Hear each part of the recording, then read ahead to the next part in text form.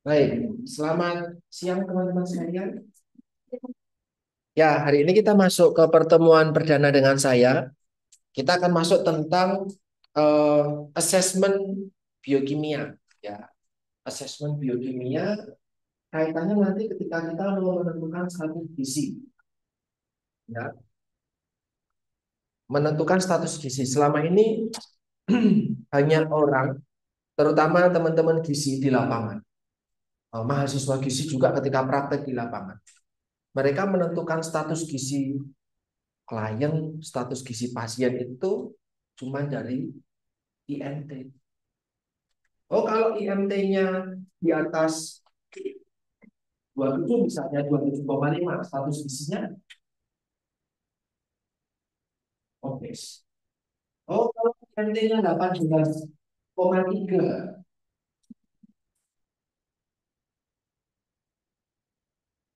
IMT-nya 18,3. Hmm? IMT-nya 26,5. Status isinya selama ini cuma pakai itu. Jadi, oh, kurang malnutrisi, oh, overweight, oh, obesity gitu. Oh, normal. Normal weight. Cuma itu. Untuk orang dewasa ya.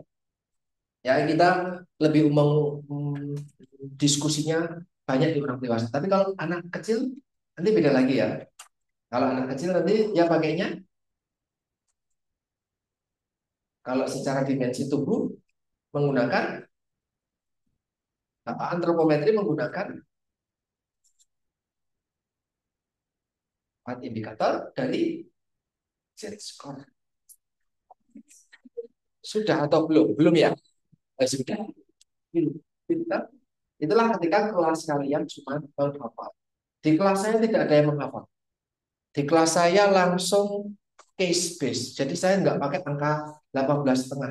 No, itu otakmu yang klasifikasikan. Saya pakai angkanya di bawahnya atau di atasnya. Jadi kamu langsung memikir gitu ya. Kalau balita, bagi balita dia empat indikator Z score. Per U, PB per TP, atau PB per PP, TP per U, PP. Lagi-lagi secara fisik, toh? atau pakai ilang. Juga secara fisik. Nah, tidak semua pasien di rumah sakit itu bisa diperiksa secara fisik. Bayangkan ketika pasiennya tidak sadar karena masalah serangan jantung atau baru operasi atau mau akan operasi atau baru kecelakaan. Apakah sempat diukur berat badan? Apakah sempat mungkin ukur rentang lengan, tinggi lutut dan yang ada? Pada kondisi-kondisi tertentu. Itu sebabnya teman-teman jangan berpikir seperti kacamata kuda hanya bisa lihat yang harus berat badan, yang harus tinggi badan. No, nggak bisa. Nggak selalu bisa. Nah, salah satu selain pemeriksaan fisik salah satu yang bisa digunakan untuk menentukan status gizi, status, uh, khususnya status gizi pasien, itu kita bisa menggunakan sebenarnya pemeriksaan biokimia.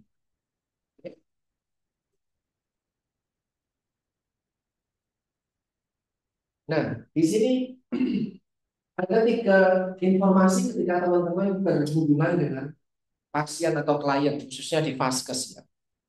Kalian akan mendapatkan data biokimia, pemeriksaan laboratorium, cek laboratorium, pemeriksaan laboratorium, terus kemudian ada pemeriksaan-pemeriksaan fisik yang tadi teman-teman sampaikan.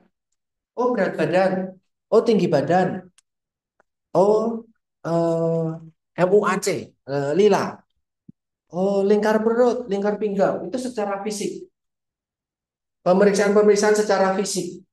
Kemudian juga ada eh, perubahan-perubahan fungsional. Misalkan ternyata ketika diperiksa nanti ini mungkin sama materinya sama Burut ada NFPI nanti kan praktek juga sama saya uh, nutrition finding physical finding jadi kita lihat oh ternyata masa ototnya berkurang oh masa lemaknya berkurang kiwir-kiwir lengannya. Apakah itu orang normal? Secara berat badan gemuk, nampak gemuk, tapi ternyata ketika lengannya digimiki kelihatan banget. Apakah itu normal? Mungkin enggak. Terus kemudian ketika kita fitting, fitting itu ditekan, ya, ekstremitas atas, tangan kanan, tangan kiri, ekstremitas bawah, kaki kanan, kaki kiri, kita fitting. Kita tekan pakai jari kita. Oh ternyata tidak balik. Masih ada leguannya. Apakah itu normal? Tidak. Itu bukan pemeriksaan secara biokimia. Itu juga bukan antropometri. Ada perubahan kan? Itu nanti kita materinya akan sama Burut, kemudian nanti prakteknya sama saya. Dan itu jadi standar wajib di rumah sakit. Harus melakukan. Kurikulum yang sebelumnya. Oke, eh, maka teman-teman menjadi sesuatu yang baru dan menarik buat saya. Ya, membantu teman-teman kita belajar bersama. Nah, tiga hal ini plus trennya. Tren itu artinya pemeriksaan pertama hasilnya sekian. Tunggu berapa waktu, pemeriksaan kedua sekian. Pemeriksaan ketiga sekian. Misalkan pada balita ditimbang berapa kali per satuan waktu? Sebulan, sebulan sekali. Maka bulan Januari, bulan Februari, Maret gitu kan ada ada trennya, ada pencatatannya. Nah, trennya ini itu nanti akan membuat mengidentifikasi pola atau masalah gizi yang kemungkinan muncul. Jadi kita nggak bisa menggunakan satu kali pengukuran terus langsung memberikan judgmentasi yang oh, apa namanya terlalu dalam untuk menentukan diagnosis itu tidak bisa. Artinya apa? Tiga hal ini, pemeriksaan biokimia, pemeriksaan secara fisik, secara antropometri, bagaimana perubahan secara fisik fungsinya, itu perlu ada dicatat secara mungkin. Kalau ada, bisa disimpan, kemudian diberikan. Hasil laboratoriumnya mana? Oh ini dua bulan lalu, tapi belum cek lagi. Oh, enggak apa-apa. Kita cek lagi setelah ini. Jadi dari dua bulan ini ada perubahan atau tidak. Oh ini berat badan anak saya ditimbangan ini buku KIA-nya. Rutin kok ditimbang? Oh, kita bisa lihat naik turunnya seperti apa. Naik terus atau justru pernah mengalami turun ataupun mungkin tidak naik tidak turun dia stuck. Misal seperti itu. itu perlu untuk diperoleh gitu ya. Nanti akan dibuat namanya diagnosis gizi.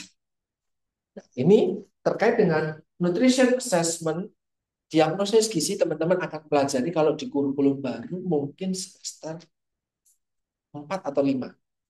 Ya. Kalau kurikulum lama di semester 6. Kalian lebih uh, dulu. Jadi akan persiapannya akan lebih baik. Ya. Untuk menentukan sebenarnya masalah pasien kita itu apa sih? Gitu ya. Nah, ini saya sambil mencantumkan eh, tampilan pemeriksaan laboratorium dari pasien-pasien saya yang saya tangani kemarin. Sepenuhnya adalah untuk pembelajaran.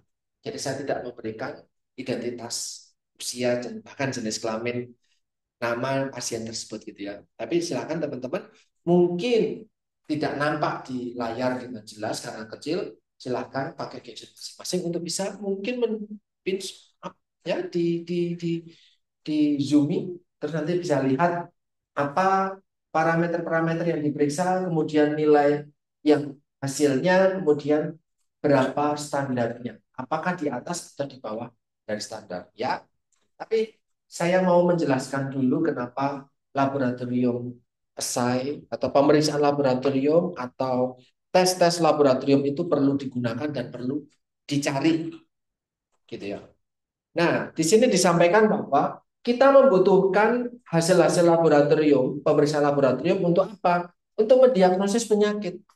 Karena bisa jadi, kalau orang, saya nggak tahu nih sakitnya pasien ini apa. Kalau cuma dilihat dari mata, cuman dipegang-pegang doang. Oh nggak ngerti. Masalahnya apa? Oh saya nggak tahu. Maka dibutuhkan hasil laboratorium. Kemudian juga kita mau memberikan dukungan gizi berupa apa? Oh, saya mau memberikan makanan. Dietnya apa?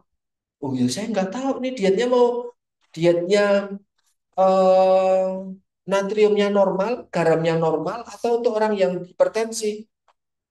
Nah, saya nggak tahu serum natriumnya berapa. Oh, dia katanya ada masalah penyakit jantung zaman dulu.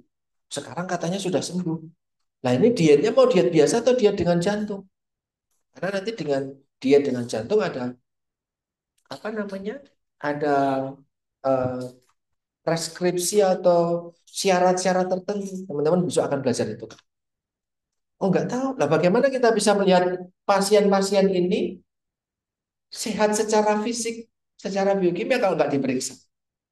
Gitu. Jadi perlu diperiksa sehingga uh, bisa membantu dalam kita memberikan diet tepat. Kita nggak pernah tahu karena pasien ini nggak pernah periksa ke rumah sakit, tahu-tahu di, di rumah jatuh, nggak diperiksa apa pun. Nah kita mau ngasih diet tapi itu nggak penting makan, makan. Oh jangan-jangan karena belum makan dia sakit. Eh ternyata dia jatuh sampai pingsan karena glukosa darahnya tinggi. Kalau dia mengalami hiperglikemia dan ketika dicek ternyata diabetes, kita memberikannya makanan biasa yang kalorinya tinggi, gulanya tinggi, oh ya nanti gulanya makin naik. Ya, jadi harus ada pemeriksaan ini biokimia untuk membantu membantu kita menentukan diet mana yang cocok. Oke. Terus sama juga untuk memonitor efektif uh, effectiveness dari uh, pencegahan gizi yang kita lakukan. Misalnya, saya kemarin di posyandu lansia di Bantul. Mereka saya beri kit untuk pemeriksaan glukosa, kolesterol, asam urat, sama tekanan darah secara Setelah mereka periksa, mereka konsul ke saya. Kemudian saya kasih edukasi. Besok makannya kayak gini, ngurangin ini, tingkatin itu, menghindari ini, banyakin makan itu, misal seperti itu. Maka biar tahu bahwa, oh, diet yang diajarkan sudah saya lakukan, dan itu berhasil atau tidak, kan harus dicek. Biasanya glukosa darahnya, kita nggak pakai kata gula darah. Gula darah itu terminologi yang. Kita pakainya glukosa darah. Kita ngecek glukosa darahnya klien tersebut, oh ternyata kemarin sekian, sekarang sekian, oh, berarti ada perbaikan nih. Berarti diet yang dilakukan kemarin berhasil. Oh asam uratnya turun. Nah, kalau cuma bilang, sekarang masih nyeri nggak kalau buat jalan? Sudah enggak sih, tapi apakah asam uratnya naik atau turun kita nggak tahu. Maka diperiksa. Oh asam uratnya dari 8, sekarang sudah jadi 5. Oh sekarang sudah jadi 6. Oh maka mengalami penurunan. Yang beda apa? Dalam satu bulan, dua bulan ini, oh makannya saya atur betul mengikuti anjuran yang diberikan sama Mas Dia. So, kita bisa sampaikan bahwa uh, pencegahan penyakitnya melalui gizi berhasil. Karena hasil laboratoriumnya mengalami perbaikan. Ya. Kemudian juga mengevaluasi uh, tindakan atau terapi gizi ataupun terapi medis yang diberikan kalau di rumah sakit. Kalau prevention kita bicaranya ketika di lapangan, ketika di masyarakat. Tapi kalau terapi, um, intervensi dan terapi itu kita bicaranya ketika kita merawat pasien. Teman-teman besok akan merawat pasien, walaupun dengan supervisi. Ya, ada pendampingan dari tenaga gizi di rumah sakit. Jadi kalian akan melakukan.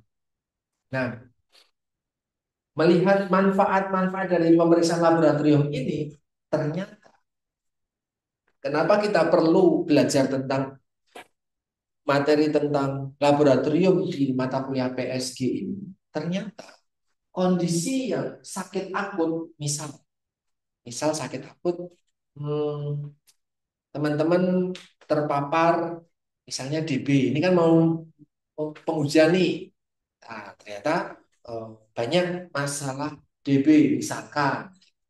Atau teman-teman ternyata uh, karena penghujan mungkin nggak sempat makan di luar atau mungkin nggak sempat masak di rumah jadi lebih memilih makan di luar terus tiba-tiba terpapar tipes misalkan. Jadi nggak mau makan dan yang lainnya jadi diare jadi mual muntah seperti itu. Maka dia kondisinya akut belum lama ini dia sakit. Oke? Kemudian yang kedua mungkin teman-teman menjalani proses uh, pembedahan. Yang paling sederhana paling banyak mahasiswa usus buntu misalkan. Misalkan. Oh atau uh, amandel misalkan pembedahannya. Atau mungkin pembedahan yang jauh lebih serius dari itu misalkan ada pembedahan. Atau injury pasien saya saya kemarin menangani pasien yang kecelakaan sampai nggak sadar. Pada akhirnya beliau meninggal. Misalnya ada kecelakaan berdarah patah tulang misal seperti itu. Maka ada injury di sini atau chronic disease penyakit-penyakit yang sifatnya kronis. Sudah lama misalkan cancer ada kanker misalkan ada diabetes ada penyakit jantung stroke sakit ginjal. Sudah menahun ada hipertensi. Apa hipertensinya? Oh saya sudah sejak 2005 hipertensi hampir 20 tahun yang lalu. Obat-obatan sudah puluhan tahun saya misalkan Nah,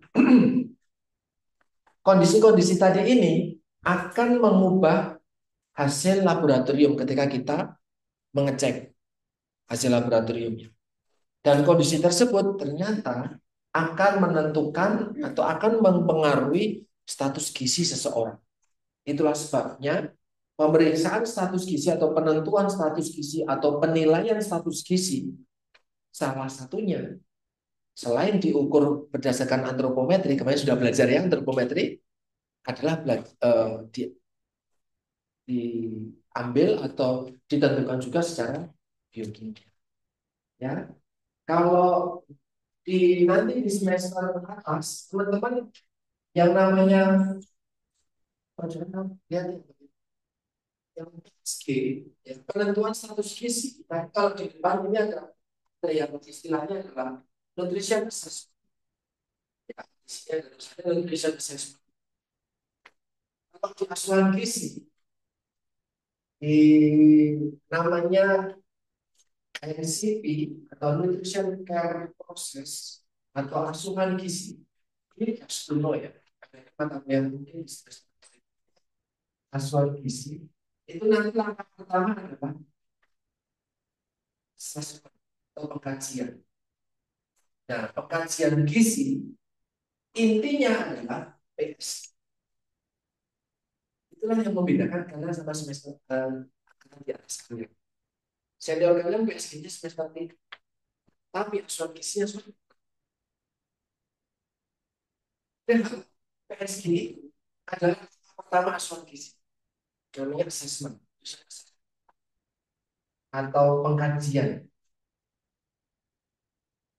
kajian gizi itu baru dapat semester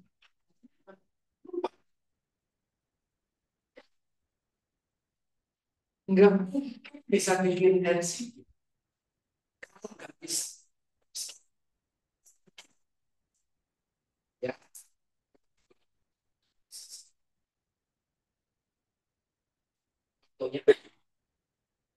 bukan semester belajar patuh dulu baru belajar tes. Oh kalau sakit, bagaimana kita kalau dia sakit? Gitu loh.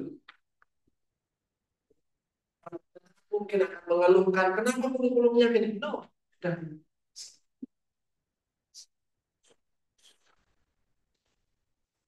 No, saya di sini cuma sendiri. Ya.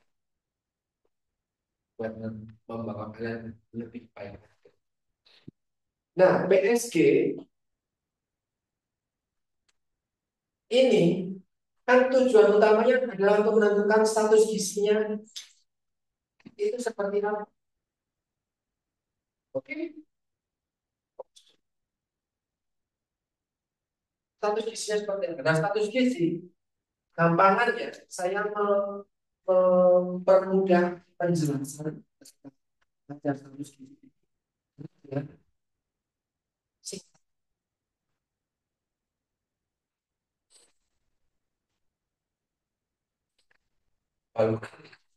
Di asesmen gizi tidak cuma empat hal ini, lebih banyak lagi. Ya, ada delapan. Ini di, di kelas ini saya ajarkan. Yang pertama adalah intro. Sudah ya. Ini nanti adalah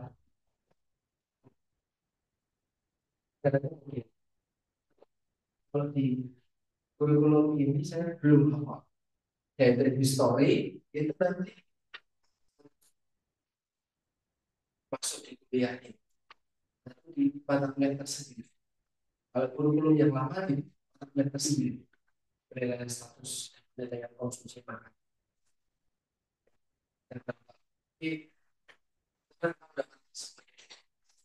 setelah pemeriksaan secara fisik dimensi itu biokimia laboratorium ada pemeriksaan medis jadi tidak cuma ada pemeriksaan medis ada box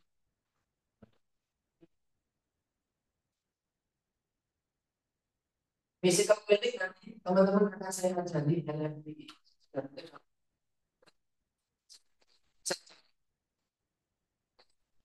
Tapi nanti praktiknya nutrition finding physical related physical examination. Nanti riwayat makanan seperti itu. Jadi ketika kita mendapatkan data-data ini, maka kita bisa menentukan, oh saat ini status gizi pasien ini menurut antropometri ini, menurut biokimia ini, menurut physical feeling ini, menurut dietary history ini. Masalah di masa lampaunya ini, ini, ini, ini. Jadi kalau menemukan yang kayak gini, mau apa? Apakah sama ketika pasiennya yang satunya lagi juga diperiksa, intervensinya nanti akan sama. Ya enggak lah. Walaupun dia punya penyakit sama, berat badannya beda. Walaupun dia berat badannya sama, penyakitnya sama, usianya beda. Jenis kelaminnya beda.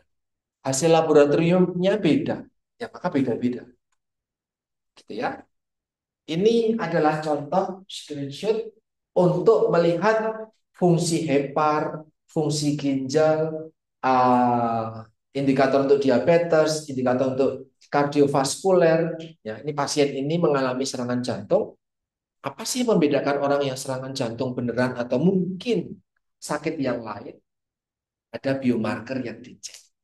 Namanya enzim yang dikeluarkan jantung ketika ada sumbatan di situ. Ketika ada aterosklerosis. Ketika ada sumbatan, maka jantung mengeluarkan enzim namanya troponin. Jadi ketika ada troponin, ada sumbatan. Paham? Semakin gede troponinnya, sumbatannya makin besar atau semakin Oke? Ya. Ya, nanti kemudian juga ada elektrolit sama pemeriksaan hepatitis. Satu screenshot. Bukan berarti ini yang akan diperiksa di setiap pasien. Tidak. Disesuaikan sama kebutuhannya mau apa. Oke? Nah, ini teman-teman perlu tangkap dengan baik. Ya, bahwa kalau sesuatu misalnya nutrition intake or cellular concentration, kita misalnya memeriksa apa misalnya glukosa darah deh. Ya.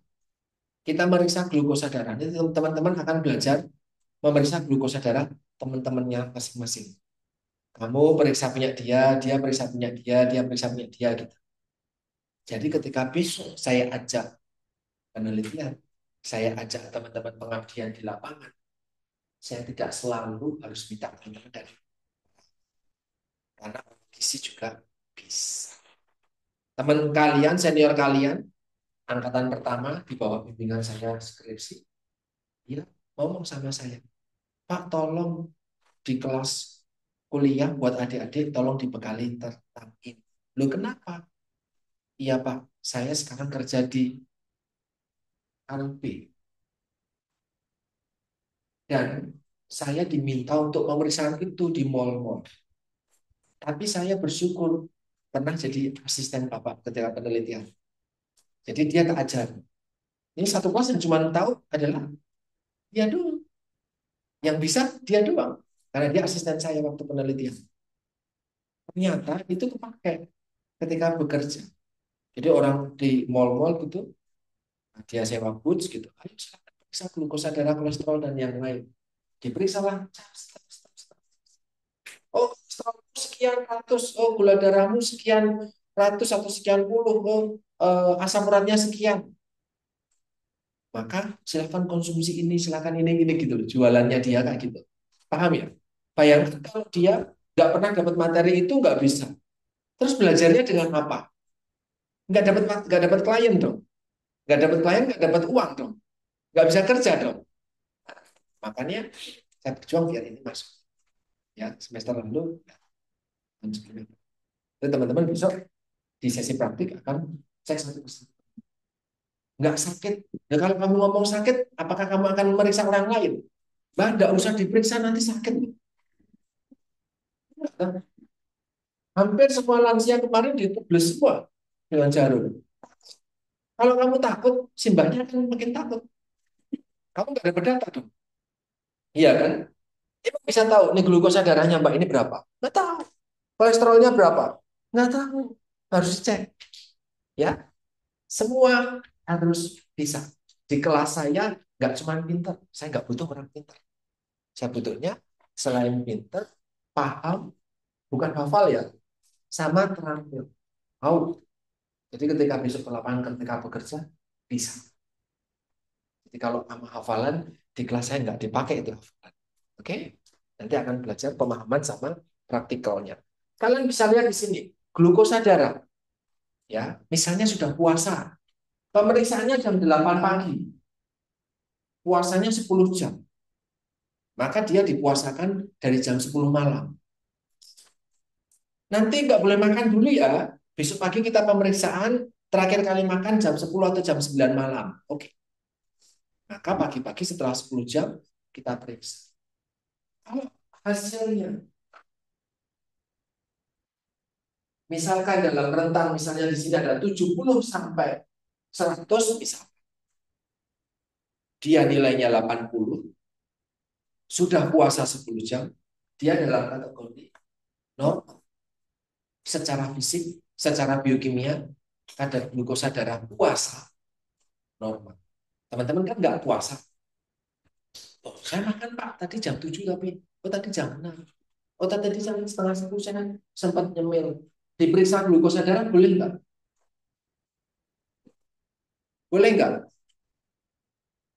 Boleh nggak? Boleh. Tapi namanya bukan glukosa darah puasa. Nah, sewaktu atau sesaat.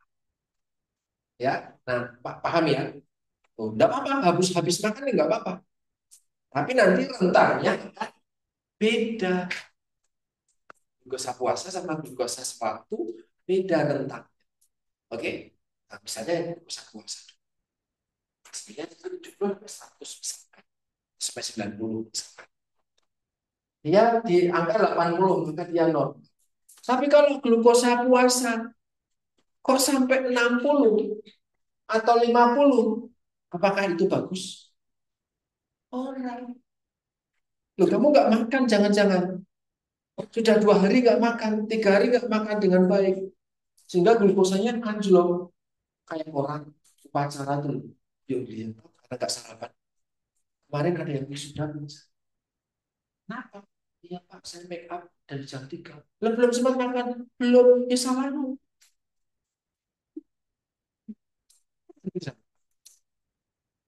Jadi kalau glukosa bukan berarti angka di bawah normal itu selalu bagus. Tidak.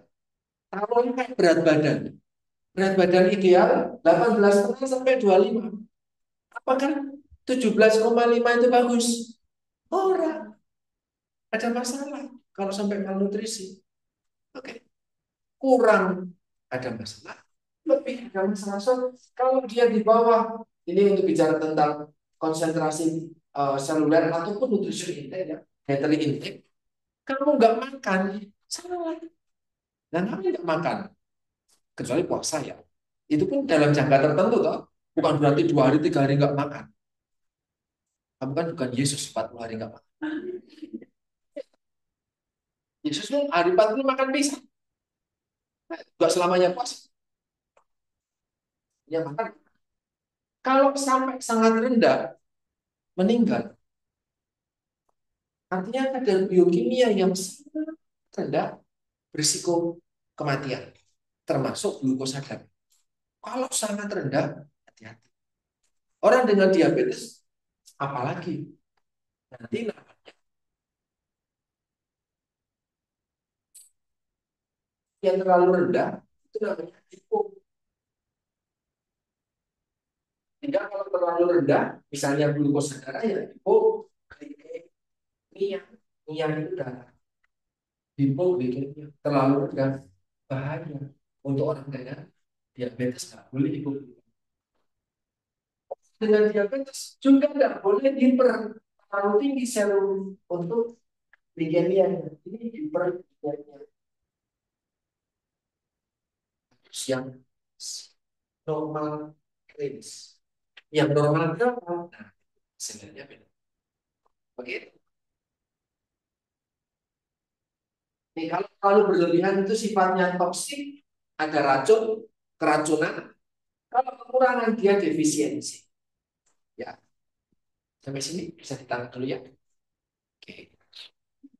Nah, teman-teman sekalian, ada namanya pemeriksaan laboratorium medis yang rutin. Rutin artinya pada banyak pasien ini dilakukan pemeriksaan tersebut secara umum. Semua pasien relatif mendapatkan pemeriksaan tersebut. Namanya pemeriksaan secara rutin ada empat. Yang pertama adalah pemeriksaan uh, panel kimia klinik ya. Ini biasanya harus puasa dulu. Tadi saya sampaikan harus puasa dulu. Apa yang dimaksud dengan uh, pemeriksaan rutin uh, kimia yang ini ada beberapa hal. Ya, saya tampilkan lagi ini adalah pemeriksaan yang secara uh, kimia. Mau orang itu ketika ditanya ada diabetes enggak? Enggak ada, sehat terus kok. Ada sakit ginjal enggak? Enggak ada, sehat terus kok. Tapi itu tetap dilakukan pemeriksaan. Apa aja yang termasuk di dalamnya? Ada pemeriksaan glukosa darah. Itu yang secara kimia. Glukosa darah, ini di sini dia pakainya glukosa sewaktu ya. Artinya yang tidak menggunakan puasa dulu. Kemudian ada elektrolit dan keseimbangan cairan. Elektrolitnya di sini ada tiga, tapi sebenarnya ada lima. Ya, ada tambahannya adalah kalsium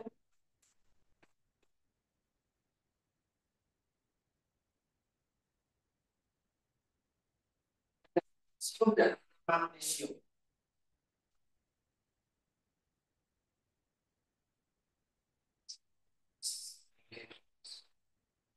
untuk pasien-pasien yang misalkan serangan jantung, permasalahan dengan jantung dan ginjal, lima elektrolit ini biasanya dipakai.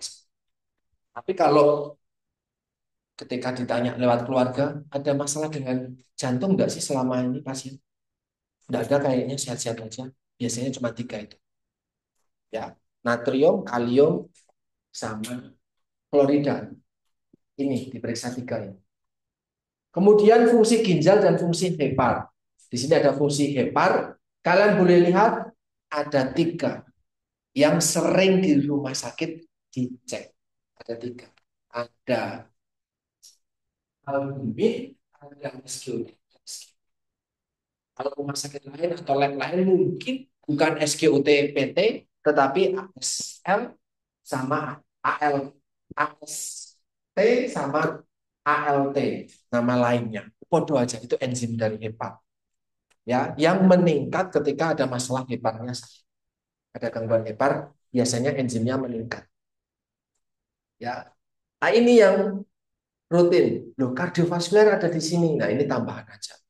Karena pasiennya katanya kemarin kata keluarganya sebelum masuk rumah sakit, oh bapak itu sesek, nyeri dadanya sampai sakit, sampai ngomong nggak bisa, sampai berdirinya nggak bisa tegak, tapi dia jongkok duduk gini.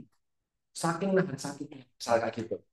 Oh ya udah, kita curiga tuh serangan jantung atau bukan, cek aja troponinnya, gitu loh. Nangkep ya? Jadi tidak semua orang akan dicek troponinnya. Aja. Hepa, ginjal, diabetes, elektrolit. Tapi rumah sakit kadang sambil ngecek HB, hepatitisnya juga. Kalau dia hepatitisnya reaktif, kan menular. Maka dia akan diisolasi dari pasien lain biar tidak menular. Contohnya gitu. Bahkan ada juga yang screening COVID. Ya, ya biar tidak menular juga. Oke? Ini yang pertama. Secara panel, secara umum, standarnya ini. Oke? Kemudian, ada pemeriksaan hematologi atau darah lengkap. Ini saya ngambil yang Sarjito ya. Tampilannya seperti ini. Tapi kalau nanti teman-teman prakteknya di Panti kalian di RSUD mungkin tabulasinya beda-beda.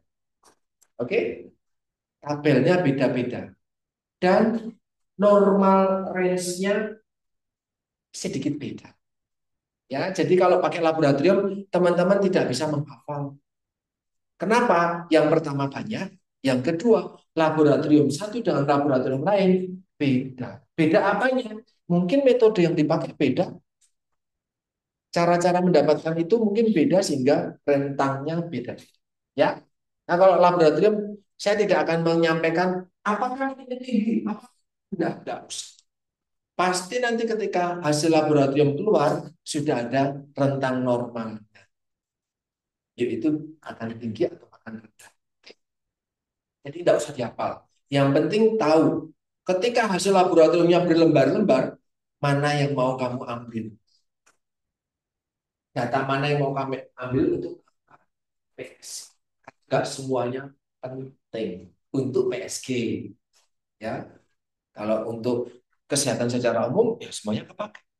Tapi untuk PSG belum tentu semuanya bisa dipakai. Ya. Ini kalau CBC atau darah rutin atau darah lengkap kalau di rumah sakit terapi namanya darah rutin, kalau di itu namanya darah lengkap. Sama aja sebenarnya ya. Ini apa aja yang bisa dilihat? Teman-teman boleh lihat. Kalau kita yang paling familiar apa di kalian? Hah? Yang paling familiar paling hemoglobin, trombosit, eritrosit. Apa yang kalian bayangkan ketika membaca hemoglobin? Apa mbak? Darah? Tidak apa-apa ngomong aja darah eh memang darah hemoglobin apa eh kamu nggak usah sama sama saya kenapa ketika mendengarkan kata hemoglobin atau membaca pikiran kalian akan langsung mengarahkan ke ini ya. Nggak salah. Tapi tidak sepenuhnya pasti anehnya. Nanti kita akan diskusi. Kalau bisa tentang trombosit Pernah dengar kata trombosit, larinya ke mana nanti? Apakah ketika trombositnya ini trombositnya turun itu pasti wah DBD nih itu enggak ya? Tapi kan kita langsung kepikirannya ke situ gitu tuh itu ketika kita bicaranya seperti kacamata kuda. Hasilnya ini pasti ini gitu nah kalau berarti nggak isu oke itu yang pengen saya ajak teman-teman berpikir kritisnya. Di tabel yang PDF satunya itu lengkap. Semuanya. Itu naik, itu turun, mengindikasikan apa, apa, apa, apa.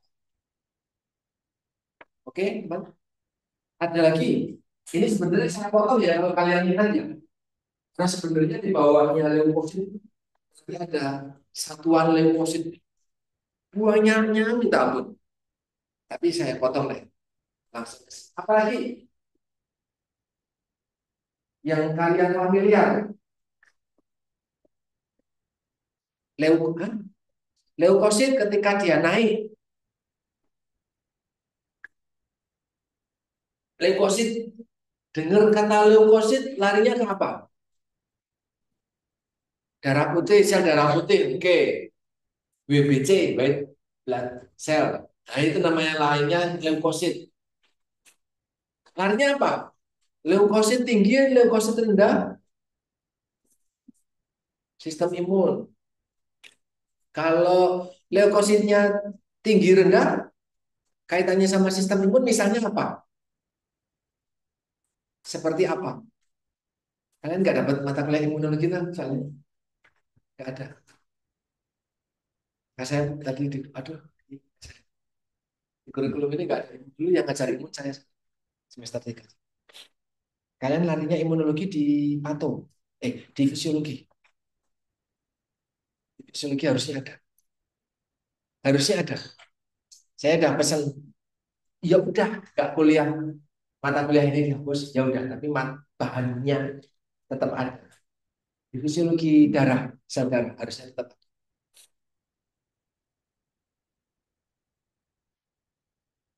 Lagi? Oh.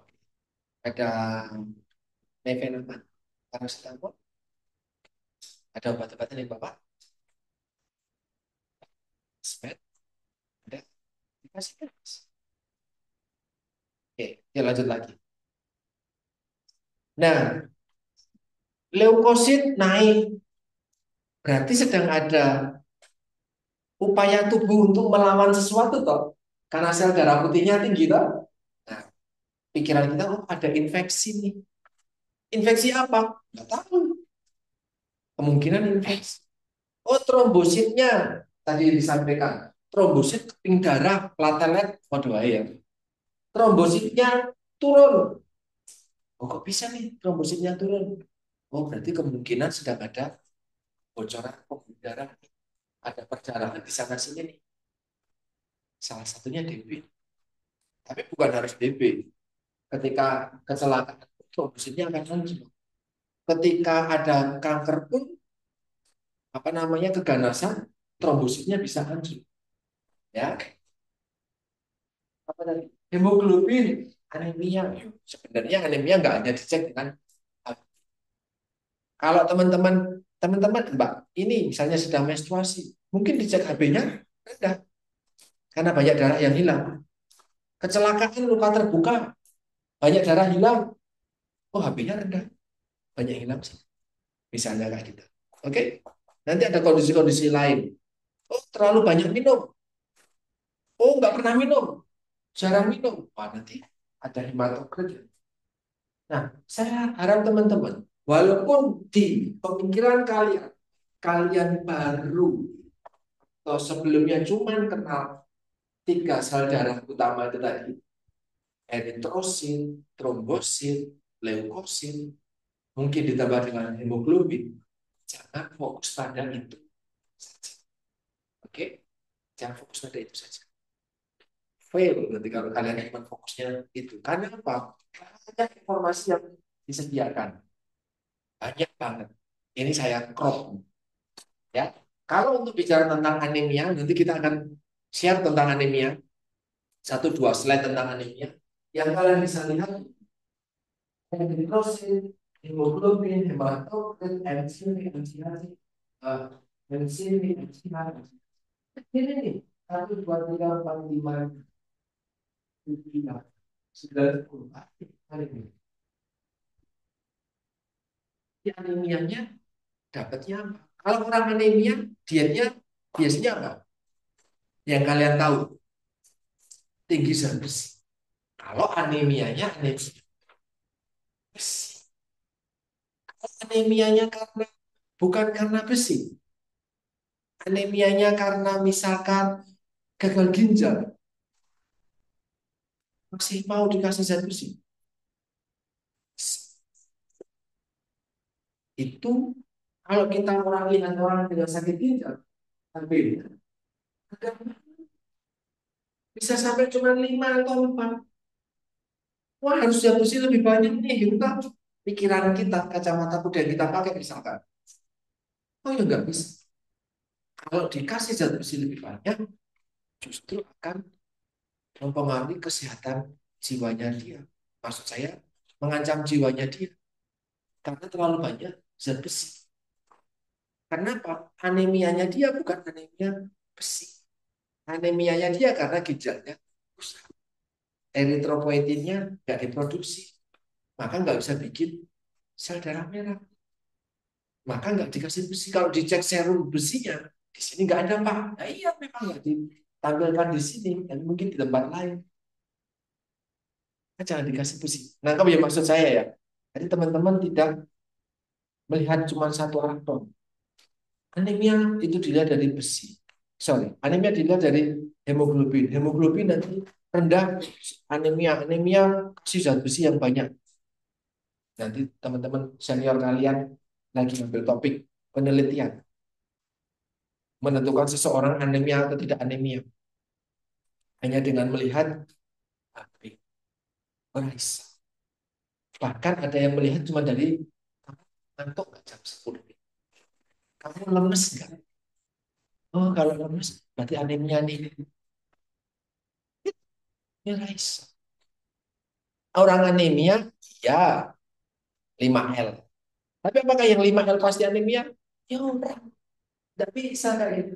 Paham ya? Nah, itu saya mengkritik teman-teman senior ketika mereka penelitiannya hanya mengandalkan cek secara appearance toh oh kayaknya pucat nih. Oh kayaknya kelentrak kelentuk nih. Wah, ini pasti anemia. Ah, gitu. ya enggak is. Harus pemeriksaan laboratorium itu pun yang dilihat bukan cuma HP oke ya sudah ya pemeriksaan darah rutin next lagi pemeriksaan feses ternyata fesesnya dicek juga kenapa feses harus dicek karena bisa jadi ada anak, ada lansia, diare. Muntah-muntah. Ini diarenya kenapa? Ada kondisi diare, ada kondisi bloody fesesnya berdarah. Oh, ada apa nih? Kok ada darah? Kan tidak normal. Di dalam feses kok ditemukan darah. Baik itu warnanya merah atau warnanya hitam. Tidak normal. Ada apa? Maka sampel fesesnya diambil. Kemudian dicek di laboratorium. Kemudian dilihat seperti tampilan ini. Maaf saya tidak, selama saya di Sarjito saya belum pernah menangani pasien yang diperiksa fesesnya. Jadi saya tidak ada buktinya. Saya hanya mengambil secara googling, googling. Kalian boleh lihat di sini. Secara secara mikroskopis ternyata ada entamoebanya ada bakterinya. Ketika dilihat lagi, ternyata ada telur cacingnya Ascaris dan Trichoris. Ada, ada satu lagi juga. Larva cacingnya ada, ada makrofag tidak ada. Tapi ada telur cacing dan amuba. Oh, berarti bisa jadi dia mengalami diare, encernya, konsistensinya cair, mungkin BAB-nya juga rutin, sorry, berlebihan, bisa jadi karena dia terinfeksi bakteri. Oh, kalau terinfeksi bakteri, obatnya ini, terapinya ini. Gitu loh. Nangkep ya? Tapi kalau diarinya bukan karena bakteri, diarinya karena keracunan makanan, karena racun, diarinya karena salah minum obat, misal. Diarinya karena kecemasan, karena bentar lagi mau ujian, misal Oh, diarenya karena makanan pedas. Misal, belum tentu ketika ekses akan muncul telur atau amubah tadi. Negatif-negatif semua. Artinya, dokter bisa menentukan bahwa, oh diare ini bukan karena kuman. Kenapa? Mungkin hal yang lain. Paham, Pak? Mas semuanya. Maka dicek laboratorium khususnya untuk feses juga Termasuk ketika fesesnya warnanya merah. Kalau feses warna merah kan berarti ada darah. Darahnya kira-kira di pencernaan atas atau pencernaan bawah. Kalau di feses ada darah warna merah. Ya, ya namanya kalau kalau kalau feses ada darah namanya tidak. Ada perdarahan berarti ususnya luka kan ada luka di usus sehingga darahnya keluar muncul di feses ketika seseorang uh, BAB kalau warnanya merah. Tapi kalau warnanya hitam ada black stool ada darah warnanya hitam. Lukanya ada di mana? Di atas. Bisa di lambung oh ada ulcer. Oh ada gastritis sampai dia mengalami mengalami perdarahan. Darahnya ke bawah sampai bawah. Ketika keluar fesesnya hitam. Oh, ternyata fesesnya bukan hitam, bukan merah. Tapi warnanya gelap pucat atau pale. Bisa. BAB-nya warnanya pucat seperti tembok ini.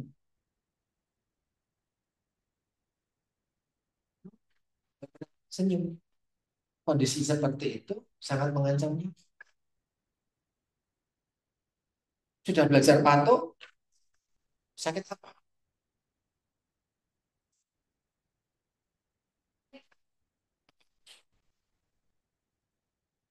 Oke.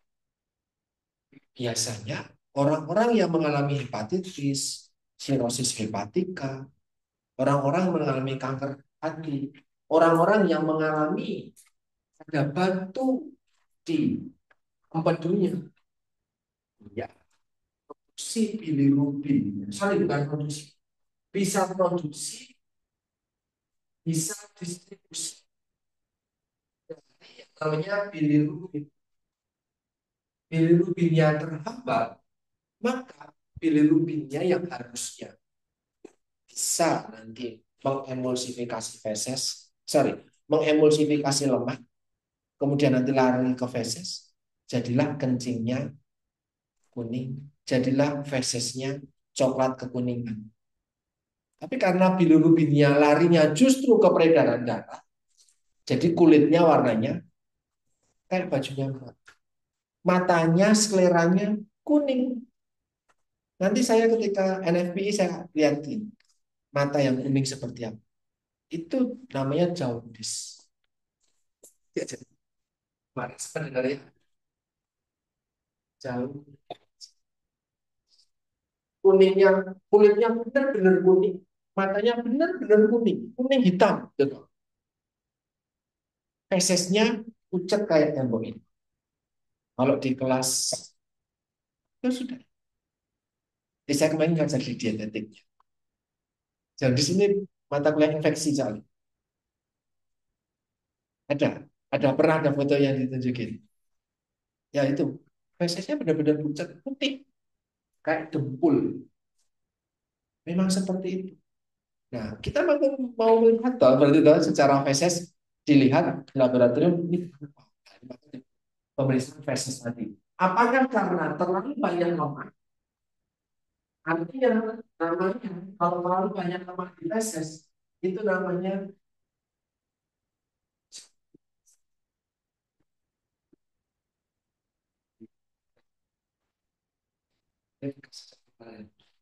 ada lemak ditemukan lemak di dalam feses. Kenapa ya? Karena tadi ada masalah sama hepat.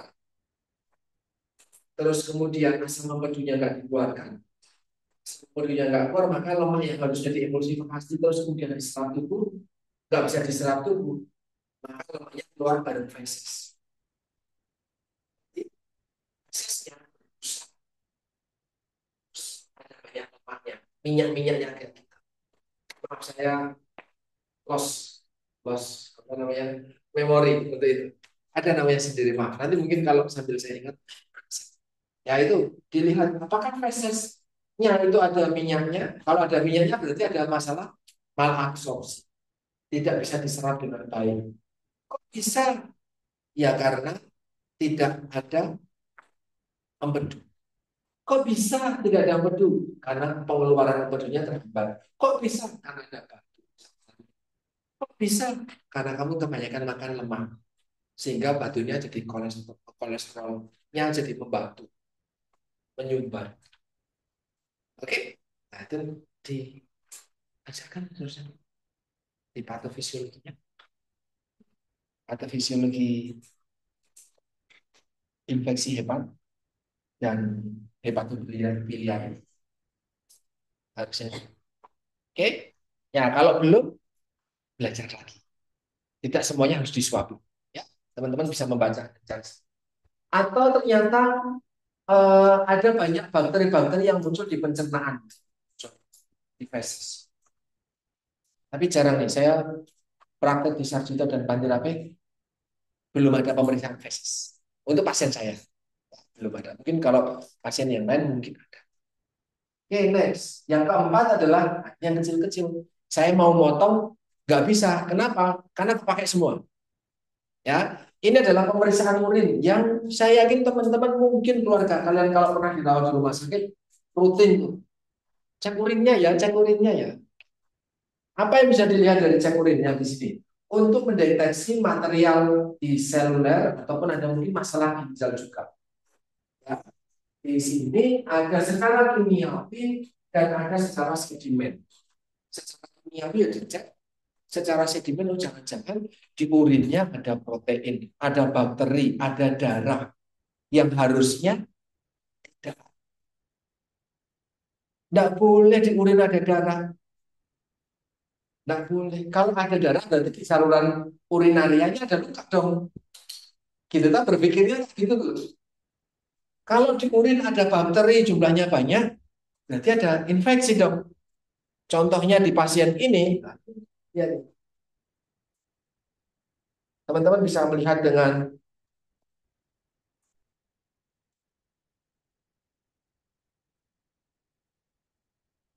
jelas ya di sini bakterinya 178.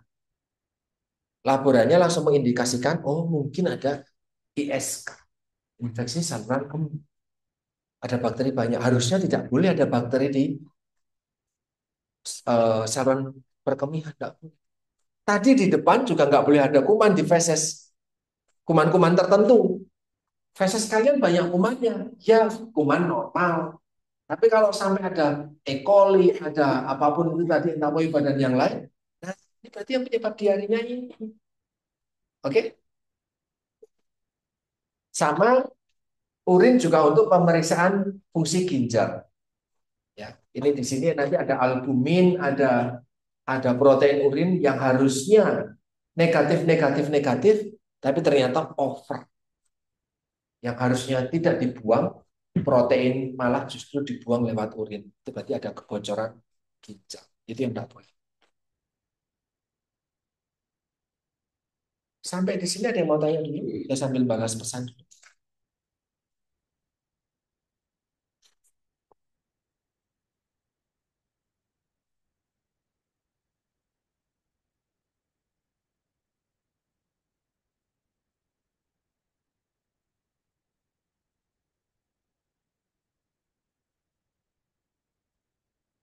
Yang mau ditanyain?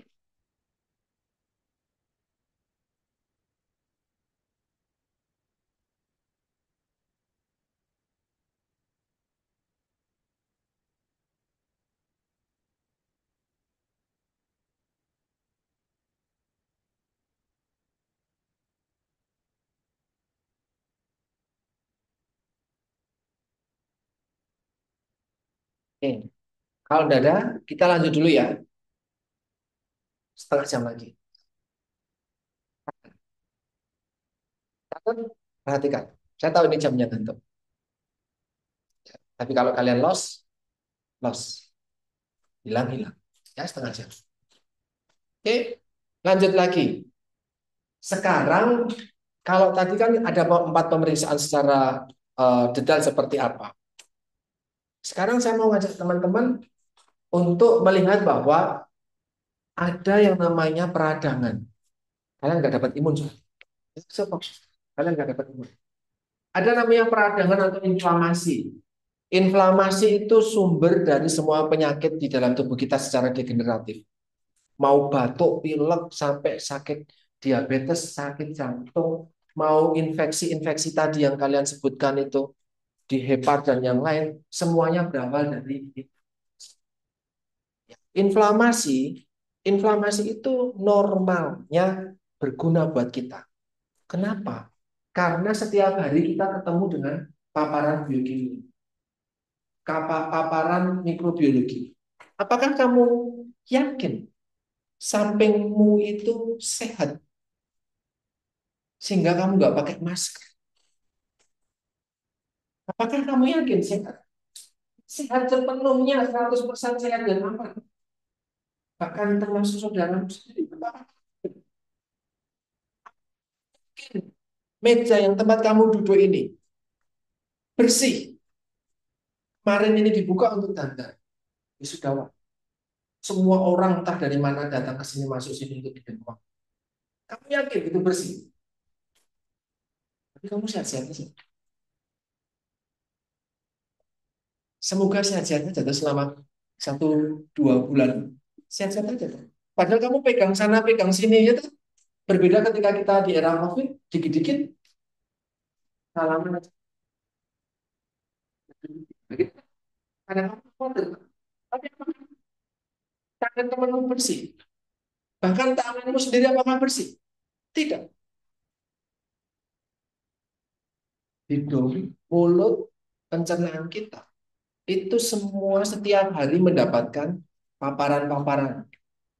So, inflamasi sistem imun itu penting banget dalam batas tertentu. Ketika tidak bisa mengkompensasi terlalu banyaknya virus, maka muncullah salah satunya virus misalkan, maka muncullah kondisi inflamasi.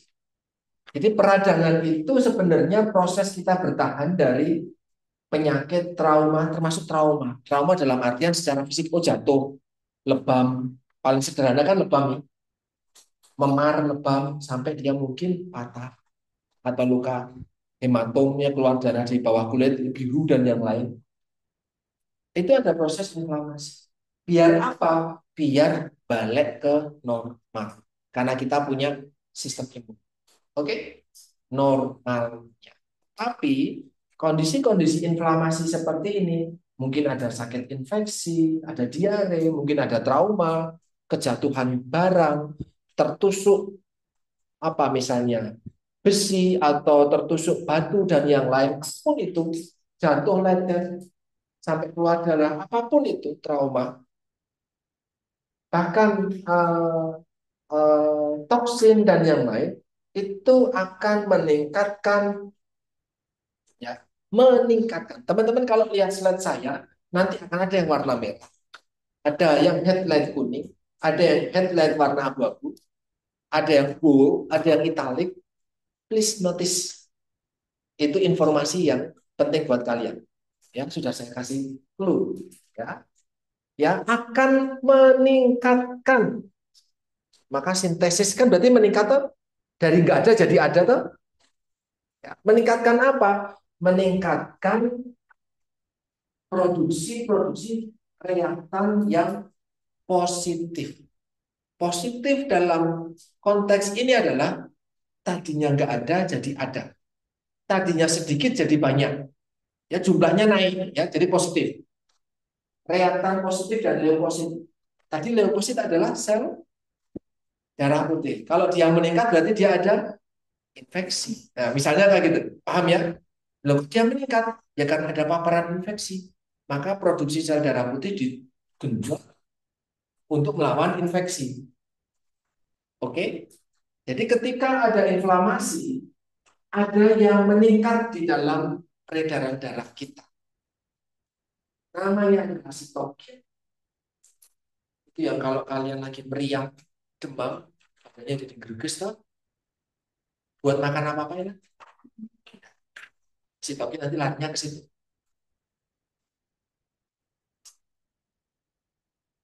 Ada leukosit,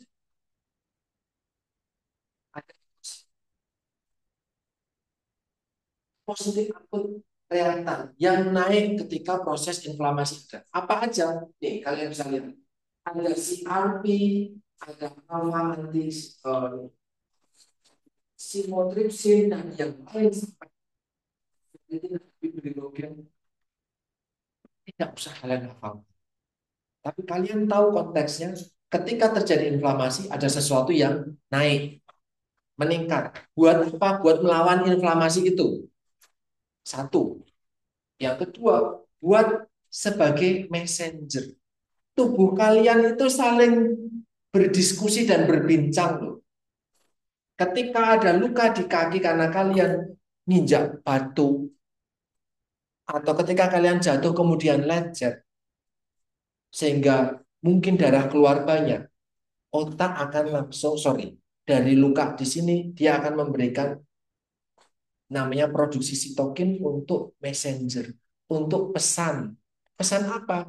Ngasih tahu ke otak, ngasih tahu ke seluruh jaringan bahwa ada luka nih di dengkul kita. Ada luka di lutut kita. Tolong kirim leukosit yang banyak. Kenapa? Ya ini kan luka terbuka. Kena tanah.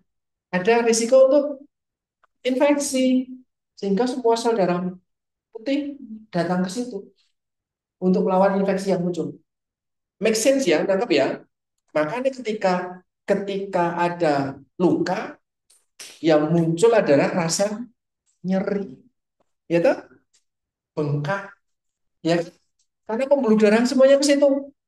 Darah-darah semuanya ke situ. Buat apa? Lah kan leukosit lewatnya darah. Maka jadi bengkak. Kalau dilihat hangat kalau dilihat, dirasakan bengkak, hangat, merah. Kalau dipegang nyeri, mungkin juga nggak bisa bergerak dengan normal lagi. Itu ada lima tanda klinis inflamasi ya. Nanti dicari. Artinya apa aja? Rubor, kalor, dolor, fungsionalisa, tumor. Sudah pernah dengar? Di mana? Oh, di degeneratif berarti sama saya. Silakan itu dibaca. Ya, ada lima tanda klinis gejala klinis sign untuk inflamasi. Karena prosesnya ada banyak yang meningkat.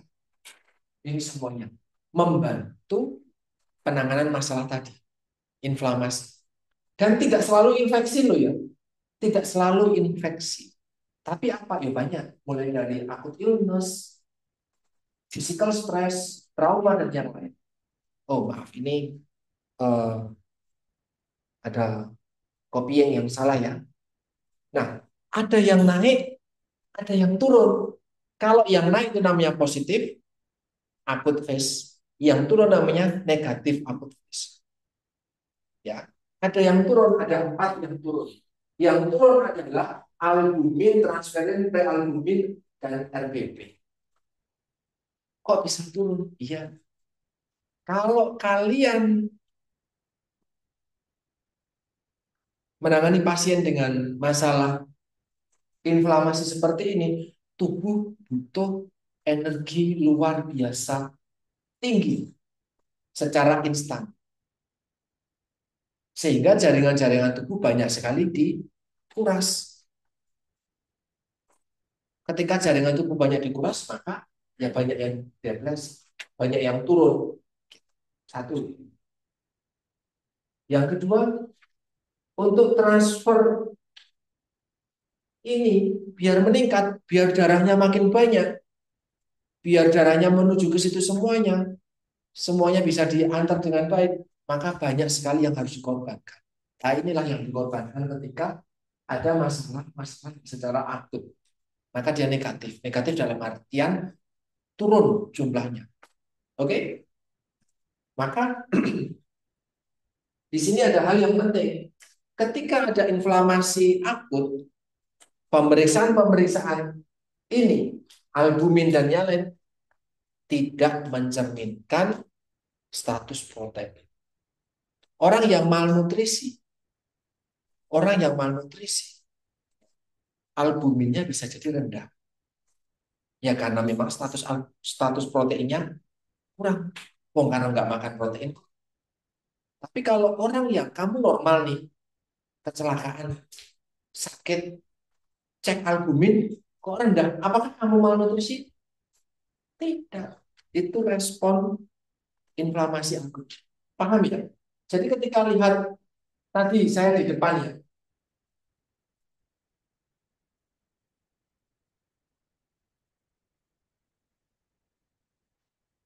Di sini ada namanya fungsi hati, ada albumin.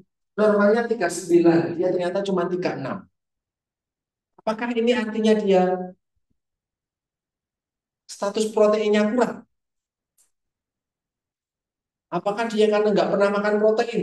KFP, malnutrisi? Hmm?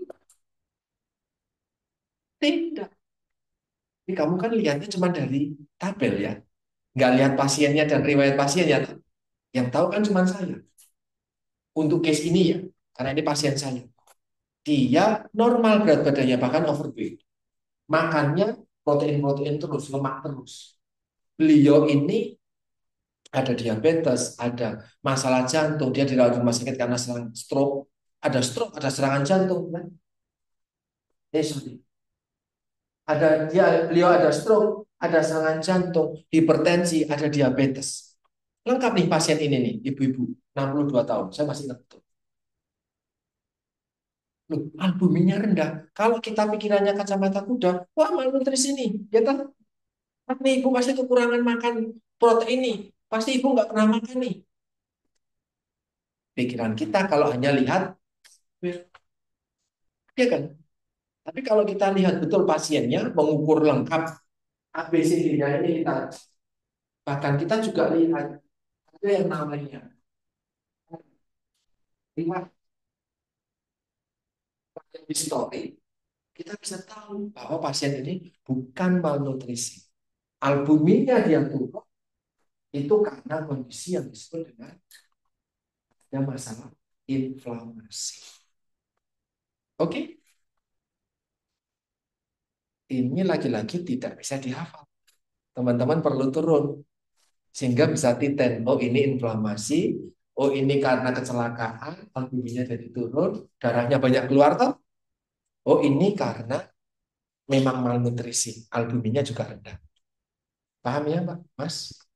Maka di sini disebutkan in acute inflammatory state ya nilai-nilai yang negatif akut fase ini protein akut fase ini tidak merefleksikan current dietary intake. Kita tidak boleh ngejudge, oh ibu nggak pernah makan. Ibu ada masalah apa kok nggak pernah makan? Loh, jangan pernah ngomong itu ya. Karena memang dia sedang mengalami acute inflammatory state. Oke. Nah, ini saya coba jelaskan positif dan negatif, tapi hanya beberapa saja sebagai sampling yang mungkin teman-teman akan dapatkan besok ketika di rumah sakit. Jadi tidak semuanya tidak semuanya ini akan yang ini akan diperiksa semuanya. BPJS tidak mengcover itu. Keluarga pasien juga tidak mengcover itu. Dokter pun tidak akan meminta untuk semua-semua dicek karena costly, duit, mahal. Tidak perlu dicek semuanya. Itu sebabnya saya memberikan sedikit-sedikit aja dari buat kalian. Ya. Dan mungkin nanti teman-teman akan belajar lebih banyak secara mandiri. Gitu, okay? Yang pertama adalah CRP. Nah, ini wajib. CRP ini akan muncul ketika ada masalah stres akut. Masalah-masalah akut CRP ini langsung naik 100%, 1000% naik jebret muncul. Protein C reaktif akan langsung naik ini sebagai tanda inflamasi. Jadi ketika ada inflamasi CRP-nya jeblok tinggi, ah ini berarti ada inflamasi akut. Tapi ketika dicek kedua, kok CRP-nya turun, berarti inflamasinya mengalami pasien tersebut, tubuh tersebut mengalami Semakin baik atau semakin buruk? Kalau CRP-nya turun dari pemeriksaan yang pertama, hmm, semakin membaik.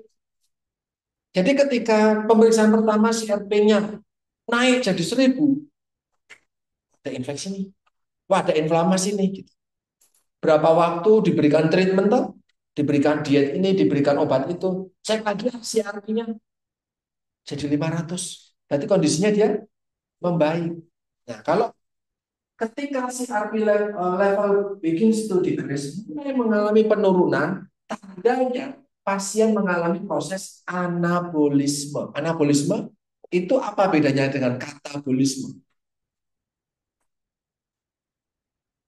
Anabolisme itu apa Mbak?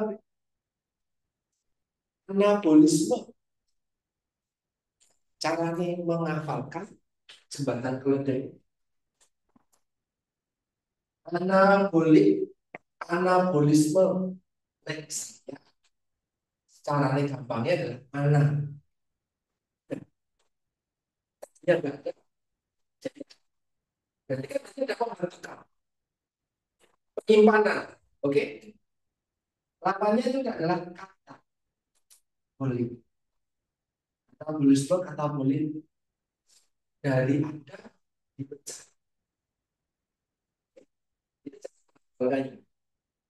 Ya, ketika di sini disampaikan CRP level mulai turun, berarti masuk periode anabolisme. Kamu makan, tubuhmu bisa menyimpan. Padahal untuk kondisi-kondisi status imun yang jelek, inflamasi, infeksi, isinya mau dipecah. Kan kamu nggak mau makan. Isinya dipecah jadi kurus kalau bisa kita. Tapi kalau proses anabolisme menggebuk dia. Nangkep, Mbak, Mas? Ya, jadi mulai masuk anabolisme. Artinya apa? Mulai ada recovery. Ya. Artinya apa? terapi gizimu berhasil. Oke. Okay. Nah, nih. Ada juga ferritin tetapi uh, saya kebetulan karena saya bisa juga kemarin menangani pasien yang punya inflamasi ferritin tidak kami periksa karena itu hasilnya itu karena kalau ada kondisi-kondisi tertentu serum ferritin. Ya, so just minum aja. Pemeriksaan pemeriksaan positif akut selain seri aktif ada ferritin juga. Tapi paling sering si aktif. Oke, positif ya si aktif. Paling sering. Ferritin tidak reliable karena ada kondisi tertentu yang mempengaruhi ferritin. Terus kemudian ini yang paling sering. Hampir semua pasien dicek albuminnya. Jadi teman-teman wajib katam ini nih. Satu slide ini nih. Paham betul nih. Cek ya albumin. Yang mengalami proses penurunan albumin itu akan berubah ya dia memiliki masa paruh 18 sampai 21 hari sekitar tiga minggu ya albumin nah albumin tujuan albumin di dalam tubuh kita utamanya fungsinya utamanya adalah penjaga cairan positif. Ketika albuminnya anjlok, baik karena asupan protein jelek, baik karena ada inflamasi, maka memunculkan cairan di dalam plasma itu akan pindah ke cairan antar sel. Dampaknya gemuk tapi isinya air cairan yang kalau tadi saya cek di piting itu nggak bisa balik. Kalaupun kamu gemuk ketika di piting balik. Kenapa? Karena cairanmu ada di dalam sel. Tapi kalau gemuk kok di piting kok nggak balik, itu gemuk air Kok bisa cairannya keluar dari dalam sel, keluar sel? Kok bisa? Karena tekanan selnya nurun. Kok bisa? Karena albuminnya anjlok. Kok bisa?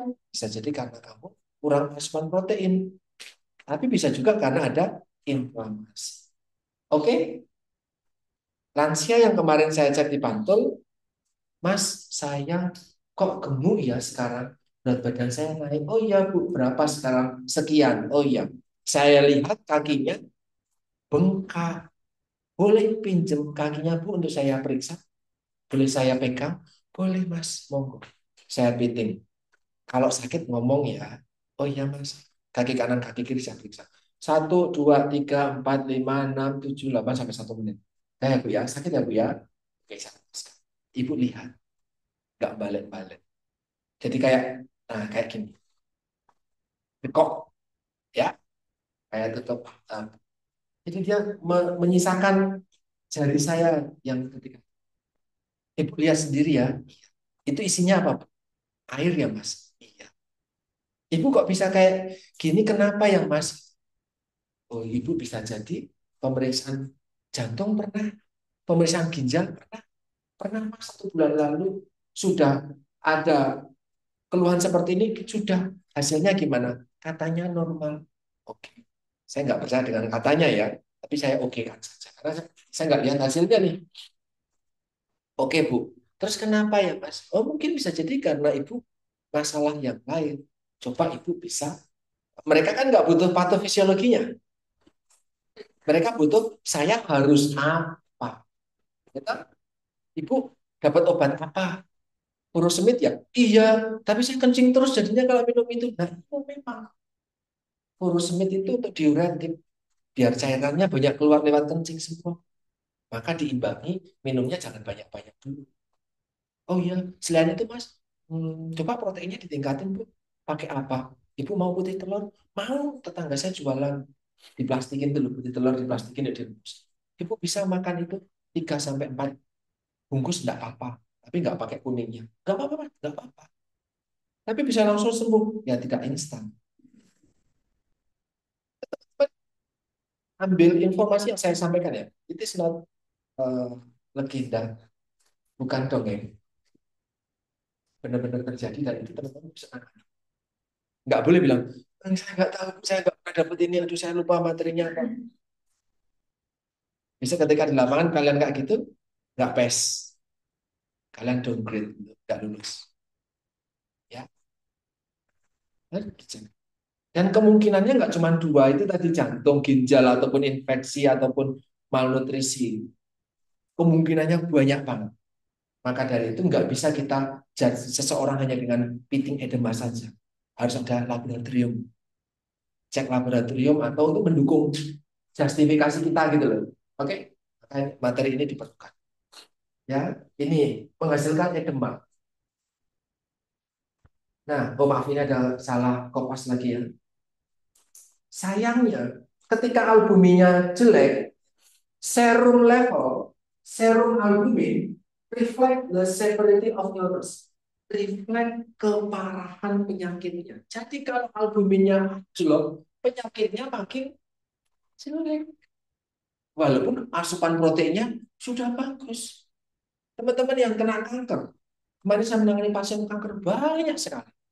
Makannya di rumah katanya bagus. Saya nggak bisa validasi toh, wong katanya. Kata beliau bagus, oh, makanya bagus. Ketika saya kunjungan ke rawat inapnya pun bangsal ke bangsal-bangsalnya mereka mau makan banyak. Tapi albuminnya anjlok 1,5, 2, yang harusnya 3,9.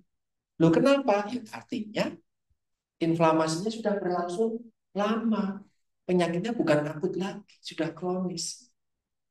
Meskipun saya ketika tanya ke ibunya, ke beliau, ibu keluhan tentang keganasan ini mulai muncul kapan? Oh, sejak lebaran kemarin, Mas. Sebelum lebaran tahun 24 ini sakit serupa atau keluhannya sama? Ada keluhan? Enggak ada. Pas tepat ketika hari lebaran itu saya merasa mulai ada keluhan. Artinya belum lama, tak? belum setahun. Jadi definisi akut atau kronis tidak bisa didefinisikan dengan waktu lebih dari setahun atau kurang dari setahun. Tidak bisa. Oke, Mas, Mbak. Ya, ini semakin keparah dan tidak merefleksikan lagi-lagi, tidak merefleksikan status protein walaupun albumin adalah protein. Ya, albuminnya rendah tidak merefleksikan status protein. Tidak selalu merefleksikan status protein atau merefleksikan uh, dukungan gizi. Misalnya kamu tak kasih albumin, tak suruh makan protein kuning telur, putih telur banyak-banyak gitu. Yuk albuminnya langsung naik, albuminnya belum naik. Tidak bisa. Tidak bisa. Karena apa? Nih, masa paruhnya tiga minggu. Kalau biar tahu, ya kamu dalam tiga minggu itu tak kasih ayam satu ekor setiap hari. Ikan kutuk, gitu ikan gabus katanya kan albuminnya tinggi wah tak suruh makan kamu nggak cuma sehari satu Sehari lima ekor, enam ekor, biar albuminnya naik. Misalnya. Tidak bisa merefleksikan itu. Ya, Albumin disintesis di hepar hati, artinya albumin merefleksikan fungsi hati. Maka tadi di depan serum albumin, oh, ini dia, serum albumin dia sebagai salah satu indikator dari fungsi hepar. Ya toh? Fungsi heparnya bermasalah nih karena dari gangguan didukung dengan SGOT SGBT yang tinggi. Berarti ibu ini ada masalah metabolik. Hebarnya nggak berfungsi dengan bagus lagi. Oh, berarti ada sirosis, Pak. Orang. Nangkep ya? Kemarin kan fungsi hebar salah satunya sirosis. Kalau sakit atau hepatitis, berarti ibu ini ada hepatitis. Ya enggak. Oh, hepatitisnya negatif kok. Tidak reaktif kok. Tapi hebarnya bermasalah ya. Fungsi hebar kan nggak cuma itu. Berarti ada penyakit kronis yang menyerang semua organ tubuh pasien. Salah satunya hepar. Taunya dari mana? Albuminnya anjlok, SGOT, SGPT-nya jeblok tinggi. Oke? Okay? Bukan dihafalin ya, ikuti aja diskusinya, catat, dipahami. Ketika heparnya bermasalah atau penyakit tertentu yang menyerang hepar, maka sintesis albumin melalui sel-sel hepar juga akan terganggu. Termasuk hepatitis juga. Sirosis juga. Nanti albuminnya hancur. Eh, albumin itu sering sekali dicek. Nah, ada satu lagi biar nggak kebalik. Prealbumin. Ini masa paruhnya cuma dua hari. Artinya sangat gampang berubah. Karena sangat gampang berubah, dia tidak sensitif. Dia tidak bisa merefleksikan protein status. Sangat gampang berubah. Bisa naik, bisa langsung turun. Oke?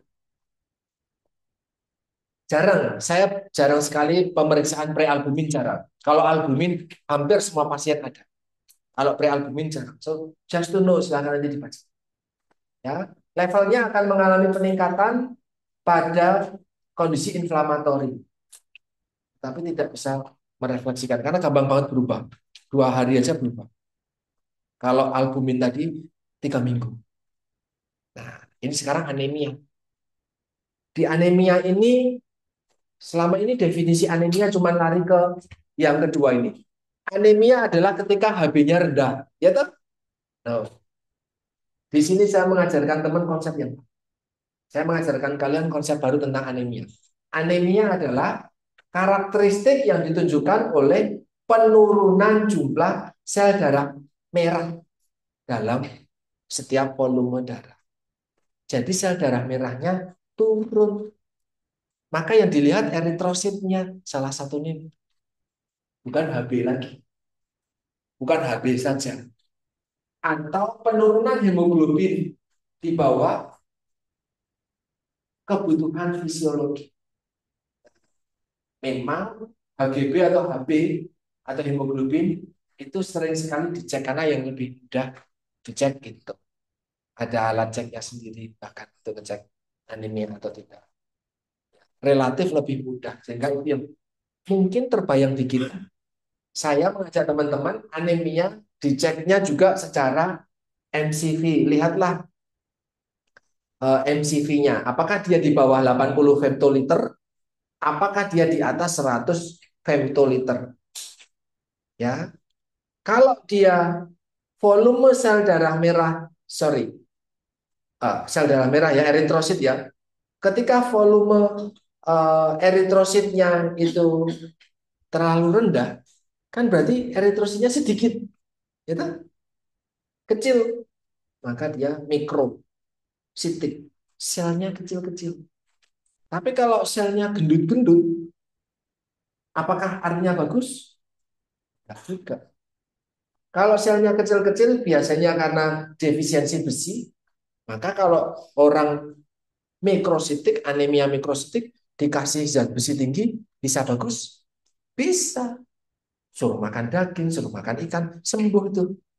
Tapi kalau anemianya normositik, sorry, anemianya makrositik, dikasih zat besi, ya orang. Nggak ada hubungannya.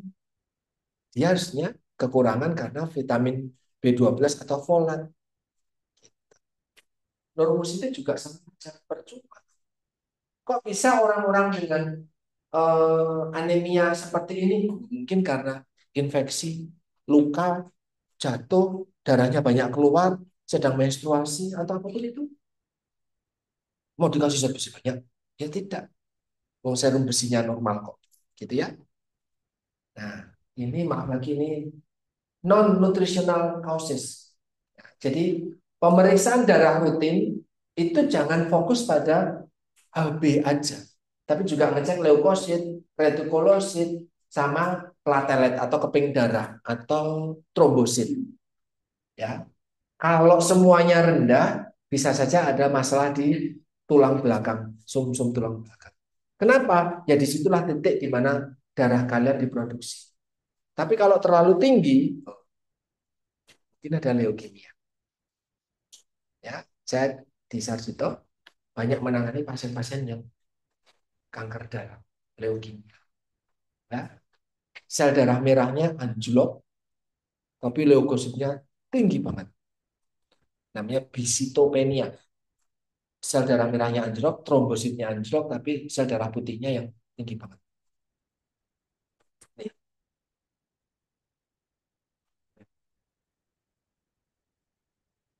Ini kalau mau ngecek anemia yang berhubungan dengan besi, karena fokus kita gizi anemia besi. Nanti kalau ginjal itu juga ada anemianya, gagal jantung juga ada anemianya. Tapi kalau anemia karena zat besi, teman-teman paling sering akan ngecek dua ini.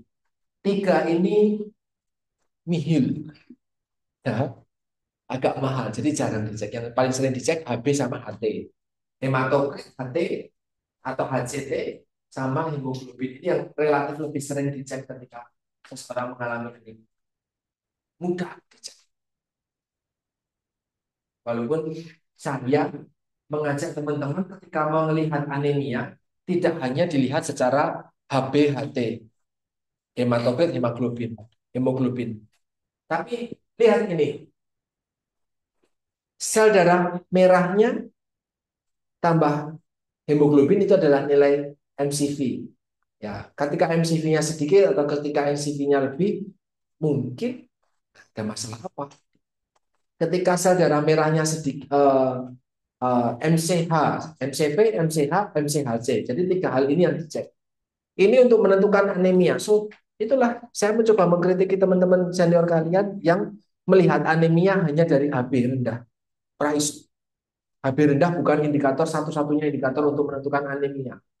Yuk terus penelitiannya topiknya adalah pembuatan produk yang tinggi zat besi. Kamu nggak boleh makan zat besi terlalu banyak. Ada batasannya. Terlalu banyak nanti toksik. Terlalu sedikit defisiensi. Harus ada batasan. Nah kalau dia nggak ada masalah dengan zat besi, lah kok ngapain dikasih zat besi? Oke? Ini nanti bisa dibaca. Uh, saya kasih ini belum ya? Oh belum ya? Saya share ini di mata kuliah isu. Isu mutakhir gizi. Belum. Itu mata kuliah pilihan. Jadi uh, belajar tentang isu terkini terkait dengan gizi. Saya share dua slide ini. Panjang banget ya algoritmanya. Dicek dulu HB-nya rendah atau oh, rendah. Oh berarti anemia. Tapi anemia apa? Kan gitu kan? Cek lagi yang lain, yang lain, yang lain. Jembatan keledainya seperti ini. Banyak banget. Sekali lagi, bukan untuk dihafalkan. Nanti mungkin dibaca seperti apa. Semua ini, semuanya ini ada di dalam pemeriksaan darah lengkap. Yang tadi saya bilang, 10 itu. MCH, MCV, MCHC, eritrosit, trombosit, leukosit, hemoglobin, hematokrit, persen RBC, persen RBC, persen RBC. Ada semuanya di sini. Sehingga dokter ketika menentukan diagnosis, cek dulu semua. Oke? Cek dulu, dipelajari. Kemudian yang paling sering berikutnya adalah kreatinin. Pernah dengar kata kreatinin? Ketika apa? Larinya ke apa? Hmm? Kreatinin biasanya barengan sama ureum. Ureum kreatinin. Orang-orang dengan masalah ginjal atau kita curiga ada masalah dengan ginjalnya, kita ngecek bun, blood urea nitrogen, atau kreatinin, atau ureum. Tiga-tiganya kita cek, atau dua atau tiganya kita cek. Ya, ini di sini disampaikan serum kreatinin berarti lewat darah. Jadi kreatinin dicek di dua tempat. Fokus dulu ya, gak, lama lagi kok. Kreatinin itu dilihat dari dua tempat. Dua biomarker, dua sediaan tubuh, darah dan urin. Ya. Serum darah, eh sorry, kreatinin di dalam darah itu menunjukkan fungsi ginjal. Kreatinin di dalam urin itu menunjukkan status protein tubuh kita. Tapi urinnya itu harus urin 24 jam bisa. Total urin dikumpulin buat diperiksa. Bahkan kalau mau cek urin cuma berapa? Pernah ngecek urin? Hmm? Ada yang pernah ngecek urin? Tes urin di laboratorium? Mbak, berapa banyak yang kamu berikan? Nah, yuk. Kamu ngeceknya bagaimana? Kamu kencing di depan pasien, di depan laboratorium? Lagi nggak ngecek urin? wadah. Apakah semua kencingmu masuk situ? Cuma sedikit toh, sampel toh. Itu pun kencing satu pertemuan toh. Padahal kamu kencing satu hari bisa lebih dari itu toh. Nah, kalau mau ngecek urium kreatinin, eh sorry, kreatinin urin untuk melihat status protein ototmu, itu urinnya urin 24 jam. Semua urinnya dicek tapi apakah mungkin di rumah sakit? Ya orang mau ditaruh dengan apa? Mau kencing saya, oh diambil. Mau kencing saya, oh, padahal orang dengan uh, sakit di rumah sakit bisa kencing sampai 2 liter, 3 liter. Itu terlalu banyak dong. Yang kamu ambil mungkin, yang kamu berikan mungkin satu gelas kecil. Itu sampel sedikit aja ketika urin keluar, jas, diambil dikit, Habis itu dituntaskan kencingnya satu satu gelasnya kasih ke laboratorium ya cuma sedikit doang. Artinya apa? Ureum, sorry, urinari kreatinin itu karena banyak keterbatasan ketika untuk mengukur protein otot itu tidak dilakukan di health setting. Tidak dilakukan di puskesmas, di laboratorium, di rumah sakit, tidak. Tapi kalau untuk penelitian, ya bisa. Coba di sini aja ya, seharian ini ya. Nanti ketika kencing, kita kumpulkan urin kalian, kita cek. Otot kalian, proteinnya seperti apa. Itu bisa. Tapi di setting terbatas, di penelitian. Kalau di setting di rumah sakit, tidak. Oke? Makanya kalau di rumah sakit, kreatinin untuk ngecek fungsi ginjalnya itu lewat serum, bukan lewat urin. Dan ada nitrogen balance, tapi juga di rumah sakit tidak digunakan. Dilakukannya adalah di penelitian. Kalau penelitian saja di laboratorium terbatas sekali. Jadi saya nggak memberikan penjelasan. Ya. Karena nggak penting buat kalian. Sebentar lagi, dua slide lagi. Saya janji sampai jam 12 ya tadi ya. Yang berikutnya terakhir adalah penyakit kronis. Kalau tadi semuanya inflamasi, infeksi, kondisi akut, kalau sekarang kondisi kronis. Ada dua kondisi kronis yang pasti kalian akan temui. Tidak mungkin tidak. Yang satu kaitannya sama kolesterol, lipid, yang berikutnya nanti kalau hubungannya sama diabetes. Ya, ini adalah profil kolesterol, empat profil kolesterol yang teman-teman hafal. Kalau ini harus hafal. Di luar kepala sampai hafal ketipal-tipal kolesterol LDL, total kolesterol, trigliserida, dan kolesterol HDL. Angkanya berapa normalnya, borderline-nya berapa, terus tingginya berapa. Ini harus hafal. Di atas 200, ya toh? di atas Ya. Harapannya tidak boleh di atas 200, 130, 40 ataupun 150. Tapi ini untuk dewasa. Nanti kalau untuk perempuan laki-laki HDL-nya beda. Ya, kalau untuk perempuan laki-laki HDL-nya beda. Untuk usia tertentu HDL-nya beda. Tidak usah dihafal untuk semuanya. Hanya secara umum aja. Kalau untuk perempuan dia di atas 40, kalau untuk laki-laki dia bisa sampai 60 LDL, sorry, HDL. Ini semakin tinggi kolesterol LDL, risiko untuk kena serangan jantung, penyakit jantung, gangguan jantung, penyumbatan itu semakin tinggi. Ya, ada namanya hiperkolesterol, hiper ah, sorry, dislipidemia. Pernah dengar ya?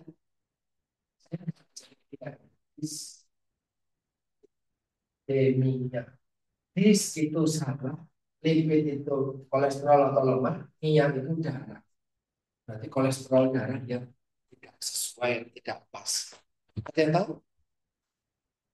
Dislipidemia tipikalnya apa kalau dilihat dari empat parameter ini? Pernah dengar sebelumnya? Dislipidemia pernah dengar? Dipato pernah? Sama bulut berarti? Pernah dengar? Dislipidemia. Ada empat yang ini adalah rendah hati. Yang lainnya tinggi tinggi. yang rendah hati. Dislipidemia. Penyebab utamanya kok. Oke? Itu risiko kolesterolnya tinggi Pak. Ya. Di sini. Ini ada lipid uh, lipoprotein aterosklerosis ya. Jadi risiko pembentukan plak dilihatnya dari empat level, sorry, empat parameter ini. Next, terus kemudian yang berikutnya adalah diabetes. Diabetes ini nanti pemeriksaannya ada empat, ya. Pemeriksaan diabetes ini ada ini saya di sini diabetes. Nanti ada H, B, A, C, ada glukosa dua jam, prostrandial, ada glukosa darah puasa, ada glukosa darah sebab Kamu lagi makan, saya periksa itu sewaktu. Kamu semalaman nggak belum makan, saya periksa maka puasa. Kamu puasa, terus kemudian tak kasih makan dalam dua jam, nanti tak periksa itu dua jam prostrandial, dua jam PP atau HbA1c. Apa itu HbA1c? Gula itu akan terglikasi nempel di hemoglobin. Jadi semakin banyak gula yang nempel, itu artinya semakin risiko dia diabetes.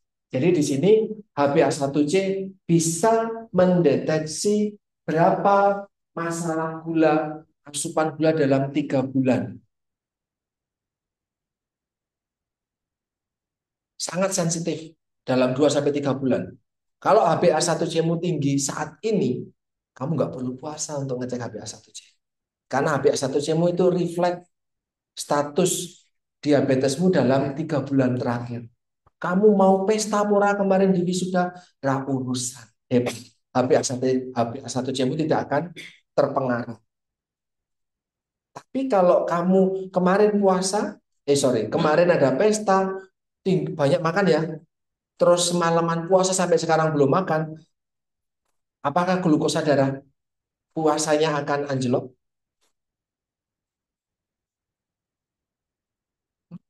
Belajar fokus. Kemarin makan tuh banyak tuh di atas atau di sini panitia atau makan semua yang banyak gulanya. Malam tidak sempat makan sampai sekarang. Terus kamu saya cek kan puasa tuh. Kamu saya cek glukosa darah puasanya naik tinggi atau rendah? Atau tidak berubah? Hmm?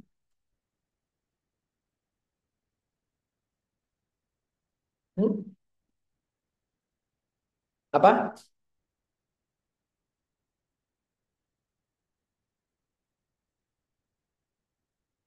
Kalau HbA1c itu kan pemeriksaan yang tiga bulan. Mau kemarin kamu pesta, mau seminggu ini kamu nggak punya uang, yuk nggak makan. Sampai mau meninggal pun, tapi asam tidak Karena itu refleks dalam 2-3 Tapi kalau glukosa darah puasanya, kemarin kamu pesta, terus kamu puasa 10 jam, bahkan lebih 12 jam. Puasa 12 jam. Puasa 24 jam. Misalkan. Apakah glukosa darah puasanya akan terpengaruh? Atau tetap? Jadi turun atau tetap tinggi? Kan teman-teman kan.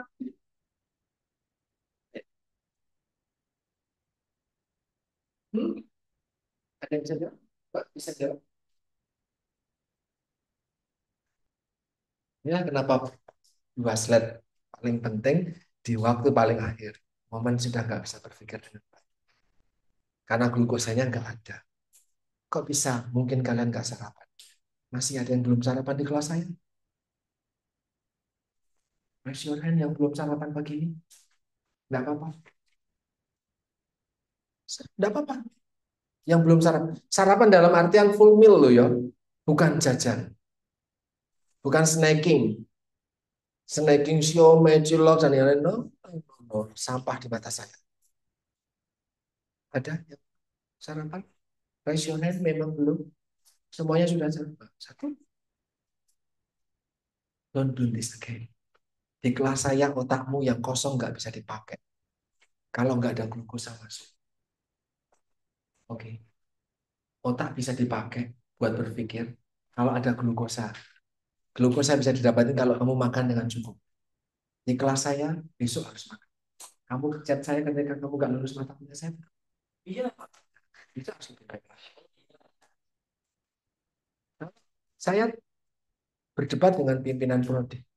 Kalau saya nggak melulusin, saya nggak melulusin, Bu. Dan saya nggak peduli. Karena memang nggak bisa lulus. Tapi kalau bisa lulus, saya lulusin. Tapi kalau nggak lulus, nggak bisa. Pertanggungjawabannya besar.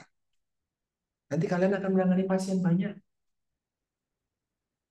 Akan ditanya nanti, kamu kuliah di mana? Enggak diajarin.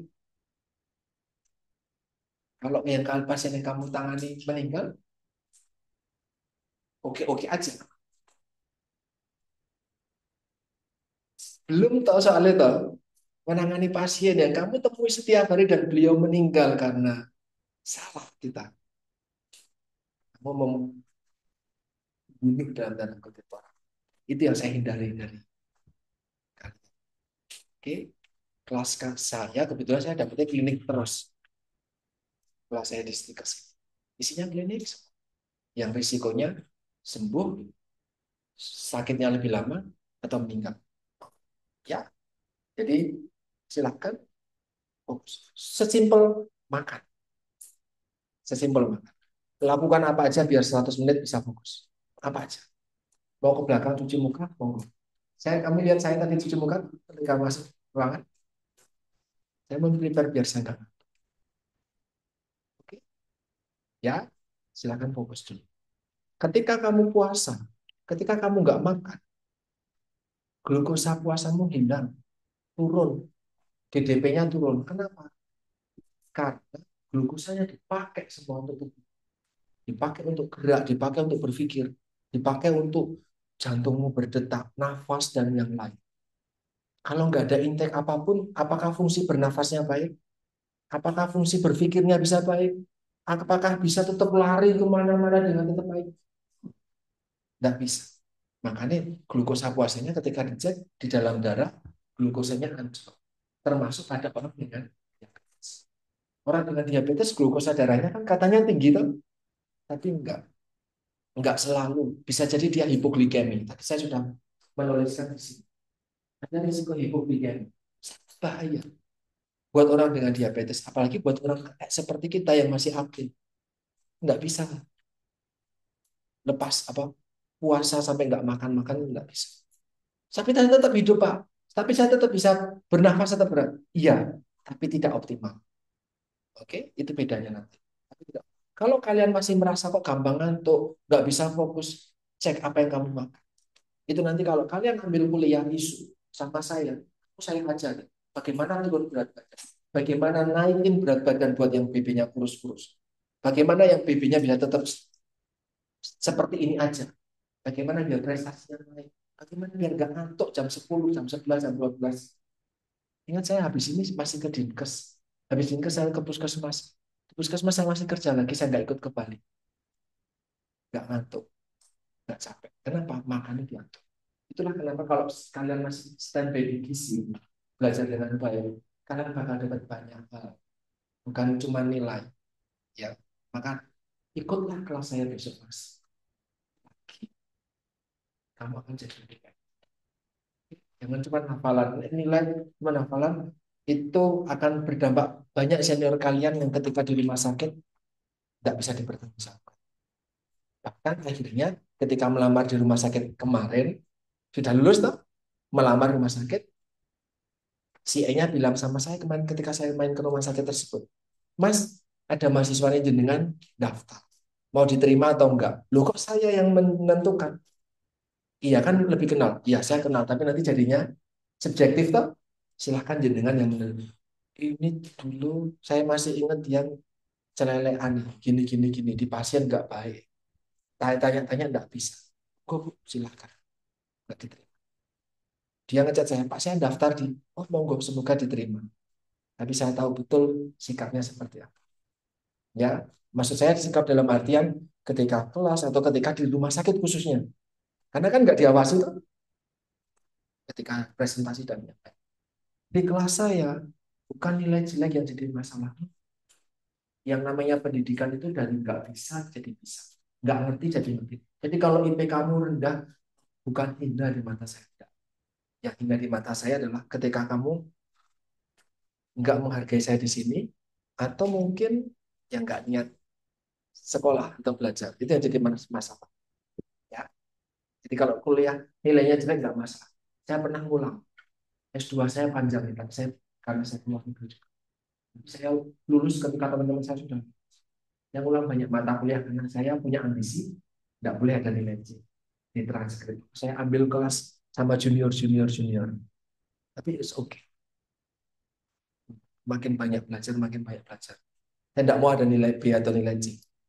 Maka kalau di Undip, nilai B saya remedi. Remedinya bukan habis ujian sekolah apa? Ujian lagi enggak. Remedi itu artinya kalau di Undip ambil satu semester lagi. Jadi kamu kuliah bareng anak 24. Itu kalau di Undip namanya remedi. Remedi artinya satu tahun. Saya saya semester 6, saya ngambil semester 4, semester 2, sama ikut di anak semester 8. Senior saya, saya ikut. Semuanya saya Kalian maksimal 20 SKS itu satu semester kok? Saya 26 pernah. Jadi ujian sehari empat kali. Setiap minggu. Saya sasaranku ujian lari ke lantai 4 untuk ke angkatan 8, semester 8. Lari ke semester bawahnya, lantai lantainya 4. Mengindikasikan semester 2, semester 4, semester 6, semester 8. Nah, itu naik turun cuma diselesaikan 15 menit untuk ujian berikutnya ujian. So, belajar. Karena yang kalian tangani bukan teori. Yang kalian tangani besok manusia. Mungkin keluargamu sendiri. Karena nggak semua dari keluarga kalian sehat. Mungkin ada yang sakit. Ilmu dari ini bisa dibawa ke rumah. Ya. Di sini disampaikan HbA1c itu untuk tiga bulan. So kalau pernah dicek diabetes, pasien pernah dicek diabetes, HbA1c-nya ada minggu lalu. Pasien masuk rumah sakit lagi, perlu dicek HbA1c lagi enggak? Tidak. Yang kemarin masih bisa dipakai. Tapi kalau glukosa darah puasa, ini hari apa? Rabu. Kemarin Selasa ada. Selasa pagi ada. Rabu pagi perlu dicek lagi enggak? Iya. Karena berubah banget. Apa yang kamu makan hari ini itu akan mempengaruhi diabetes, sorry, mempengaruhi glukosa darahnya, mau sewaktu atau puasanya. Oke, akan mempengaruhi. Tapi kalau puasa lama, lebih dari 12 jam puasanya, glukosa darahnya turun. Tapi ini yang penting. Kemarin teman-teman Poltekkes banyak yang nggak bisa jawab. Ada pasien kecelakaan, masuk ke ICU. Fisiknya kayak emas, gede, tapi kecelakaan. Nggak makan toh, nggak sempat makan toh, kecelakaan toh, nggak sadar diri kok dua hari, tiga hari, empat hari nggak makan. Eh, sorry nggak makan, nggak sadar. Makannya terbatas sekali lewat pipa. Tapi ketika dicek glukosa darahnya kok tinggi. Apakah dia mengalami diabetes? Usianya 21. Apakah dia mengalami diabetes? Kecelakaan, tidak makan selama satu hari. Kemudian dua hari, tiga hari makannya sangat kecil. Dengan selang sangat kecil. Cuma 300 kalori. Satu hari 300 kalori. Terus kemudian dicek glukosa darahnya. Tinggi banget. Apakah artinya dia diabetes? Saya kasih poin dua kalau saja. Kok bisa tinggi? Poin dua di usia UTS. Saya kasih poin. Ini Hmm?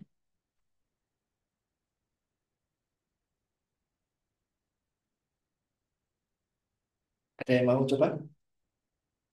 Saya selalu bonus tuh. Kalian tahu tadi patung? Nah, coba enggak apa-apa, angkat tangan dulu tapi.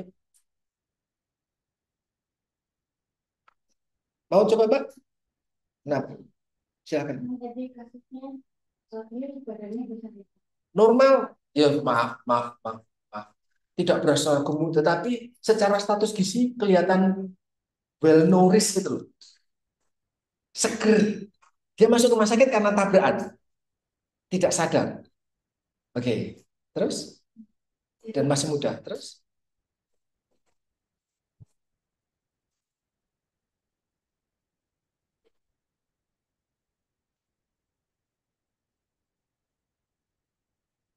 Apa hubungannya lemak sama kadar glukosa? Kan saya bilangnya glukosanya tinggi. Saya nggak ngecek lemak untuk pasien ini, nggak dicek lemak.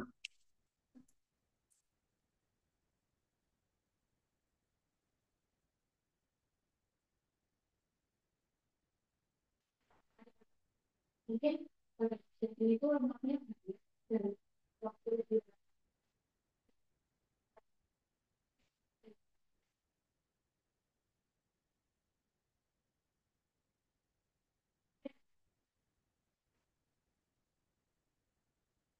Hampir, tapi bukan. Kenapa harus dipecah?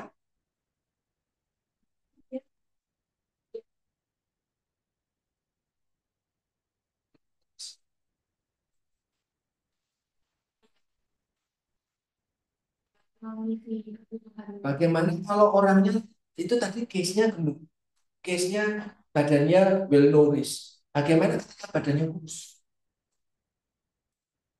Sekarang apakah glukosanya juga akan naik atau bercapa misalnya gitu.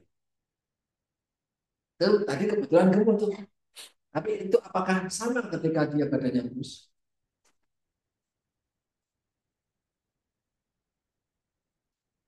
kurang tahu. Ayo, ada lagi.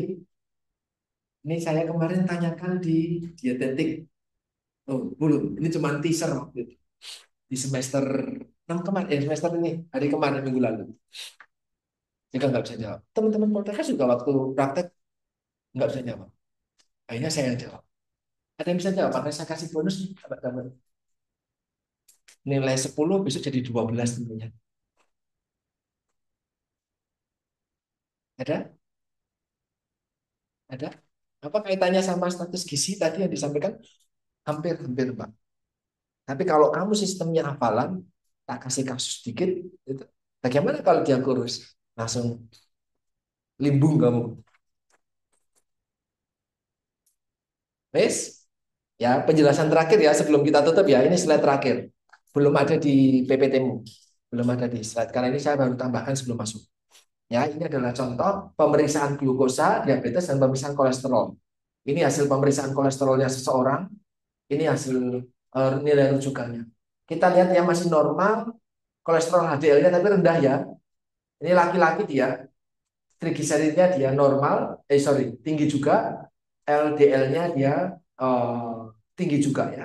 Ada tiga yang tinggi, kolesterol totalnya masih uh, di bawah normal.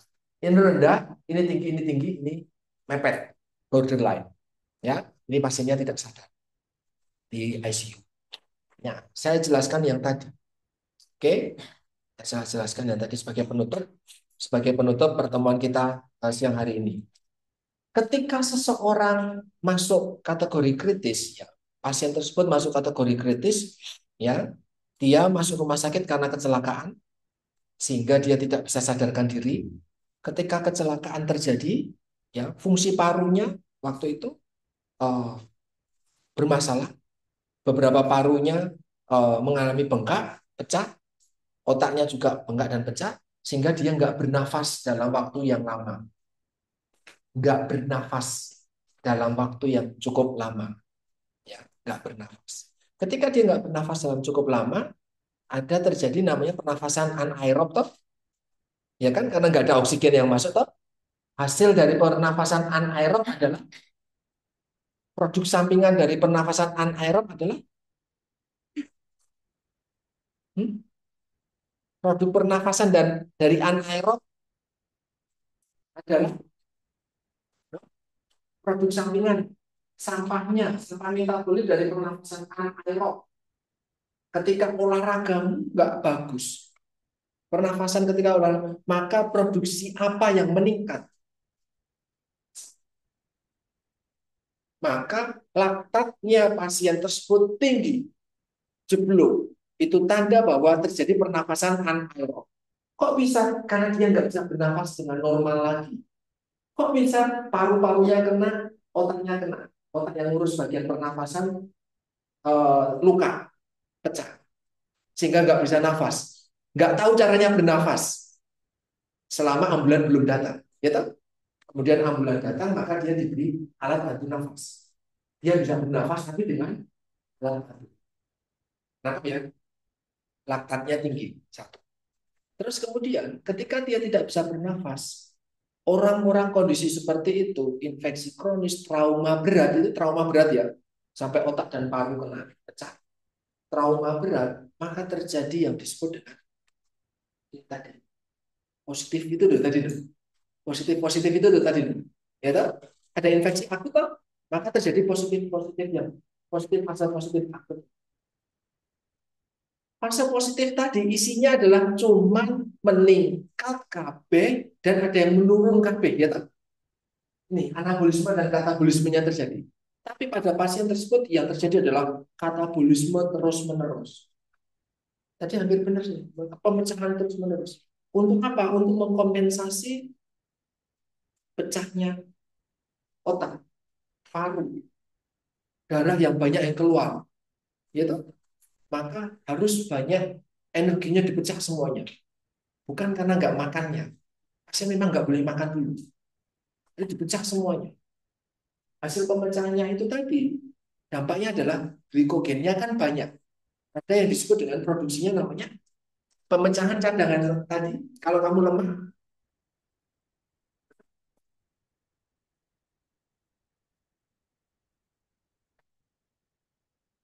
yang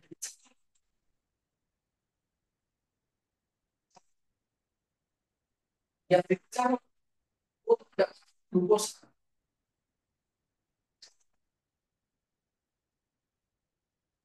Yang dipecah. Yang dipecah protein. Yuk, syukur saya nggak mau di kelas saya nggak masuk pulang. Coba, walaupun sama anyone,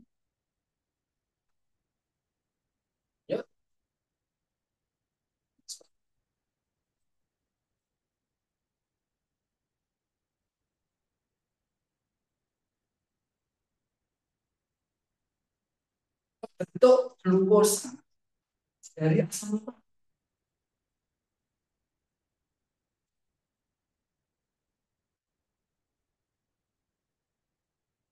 Jadi glukosa, glukogenesis, genesis itu pembentukan, pembentukan glukosa dari yang non karbohidrat pada pasien ini terjadi gluconeogenesis gede-gedean. Oke? Okay? Tapi apakah glukosa yang terproduksi bisa masuk ke dalam sel? Tidak. Kenapa? Karena tidak ada oksigen. Jadi tidak terjadi pernapasan yang ideal di dalam sel. Sehingga glukosanya numpuk di pembuluh darah. Tidak masuk ke dalam sel jadi dia mengalami hiperglikemia akut. Glukosa darahnya tinggi banget, laktatnya tinggi banget, albuminnya anjlok. Loh, berarti kurang makan protein? Tidak. Tadi negatif fasenya. Oke? Itu berarti respon metabolisme pada pasien tersebut. Ya. Besok teman-teman akan merasakan lihat langsung. Ya, semoga materi ini menjadi bekal. Senior kalian tidak dapat materi. Oke? Terima kasih. Ada pertanyaan dulu mungkin? 20 slide, 2 jam. Ada yang mau tanya? Ya. Oke, kalau memang sudah, terima kasih sekali. Mohon maaf kalau banyak omongan saya yang nggak pas. Semata-mata saya ingin kalian upgrade dari yang sebelumnya. Tidak ada hafalan di kelas saya, jadi nanti modelnya case base ketika materi. Seseorang anak datang ke puskesmas untuk diperiksa ini. Apa yang bisa diindikator uh, simpulan dari itu itu ya jadi bukan materi pemeriksaan ini bertujuan untuk apa? Itu hafalan. Oke teman-teman? Ya semoga bisa berdinamika dengan baik. Kita cukup untuk pertemuan ini untuk dua pertemuan gitu karena sudah selesai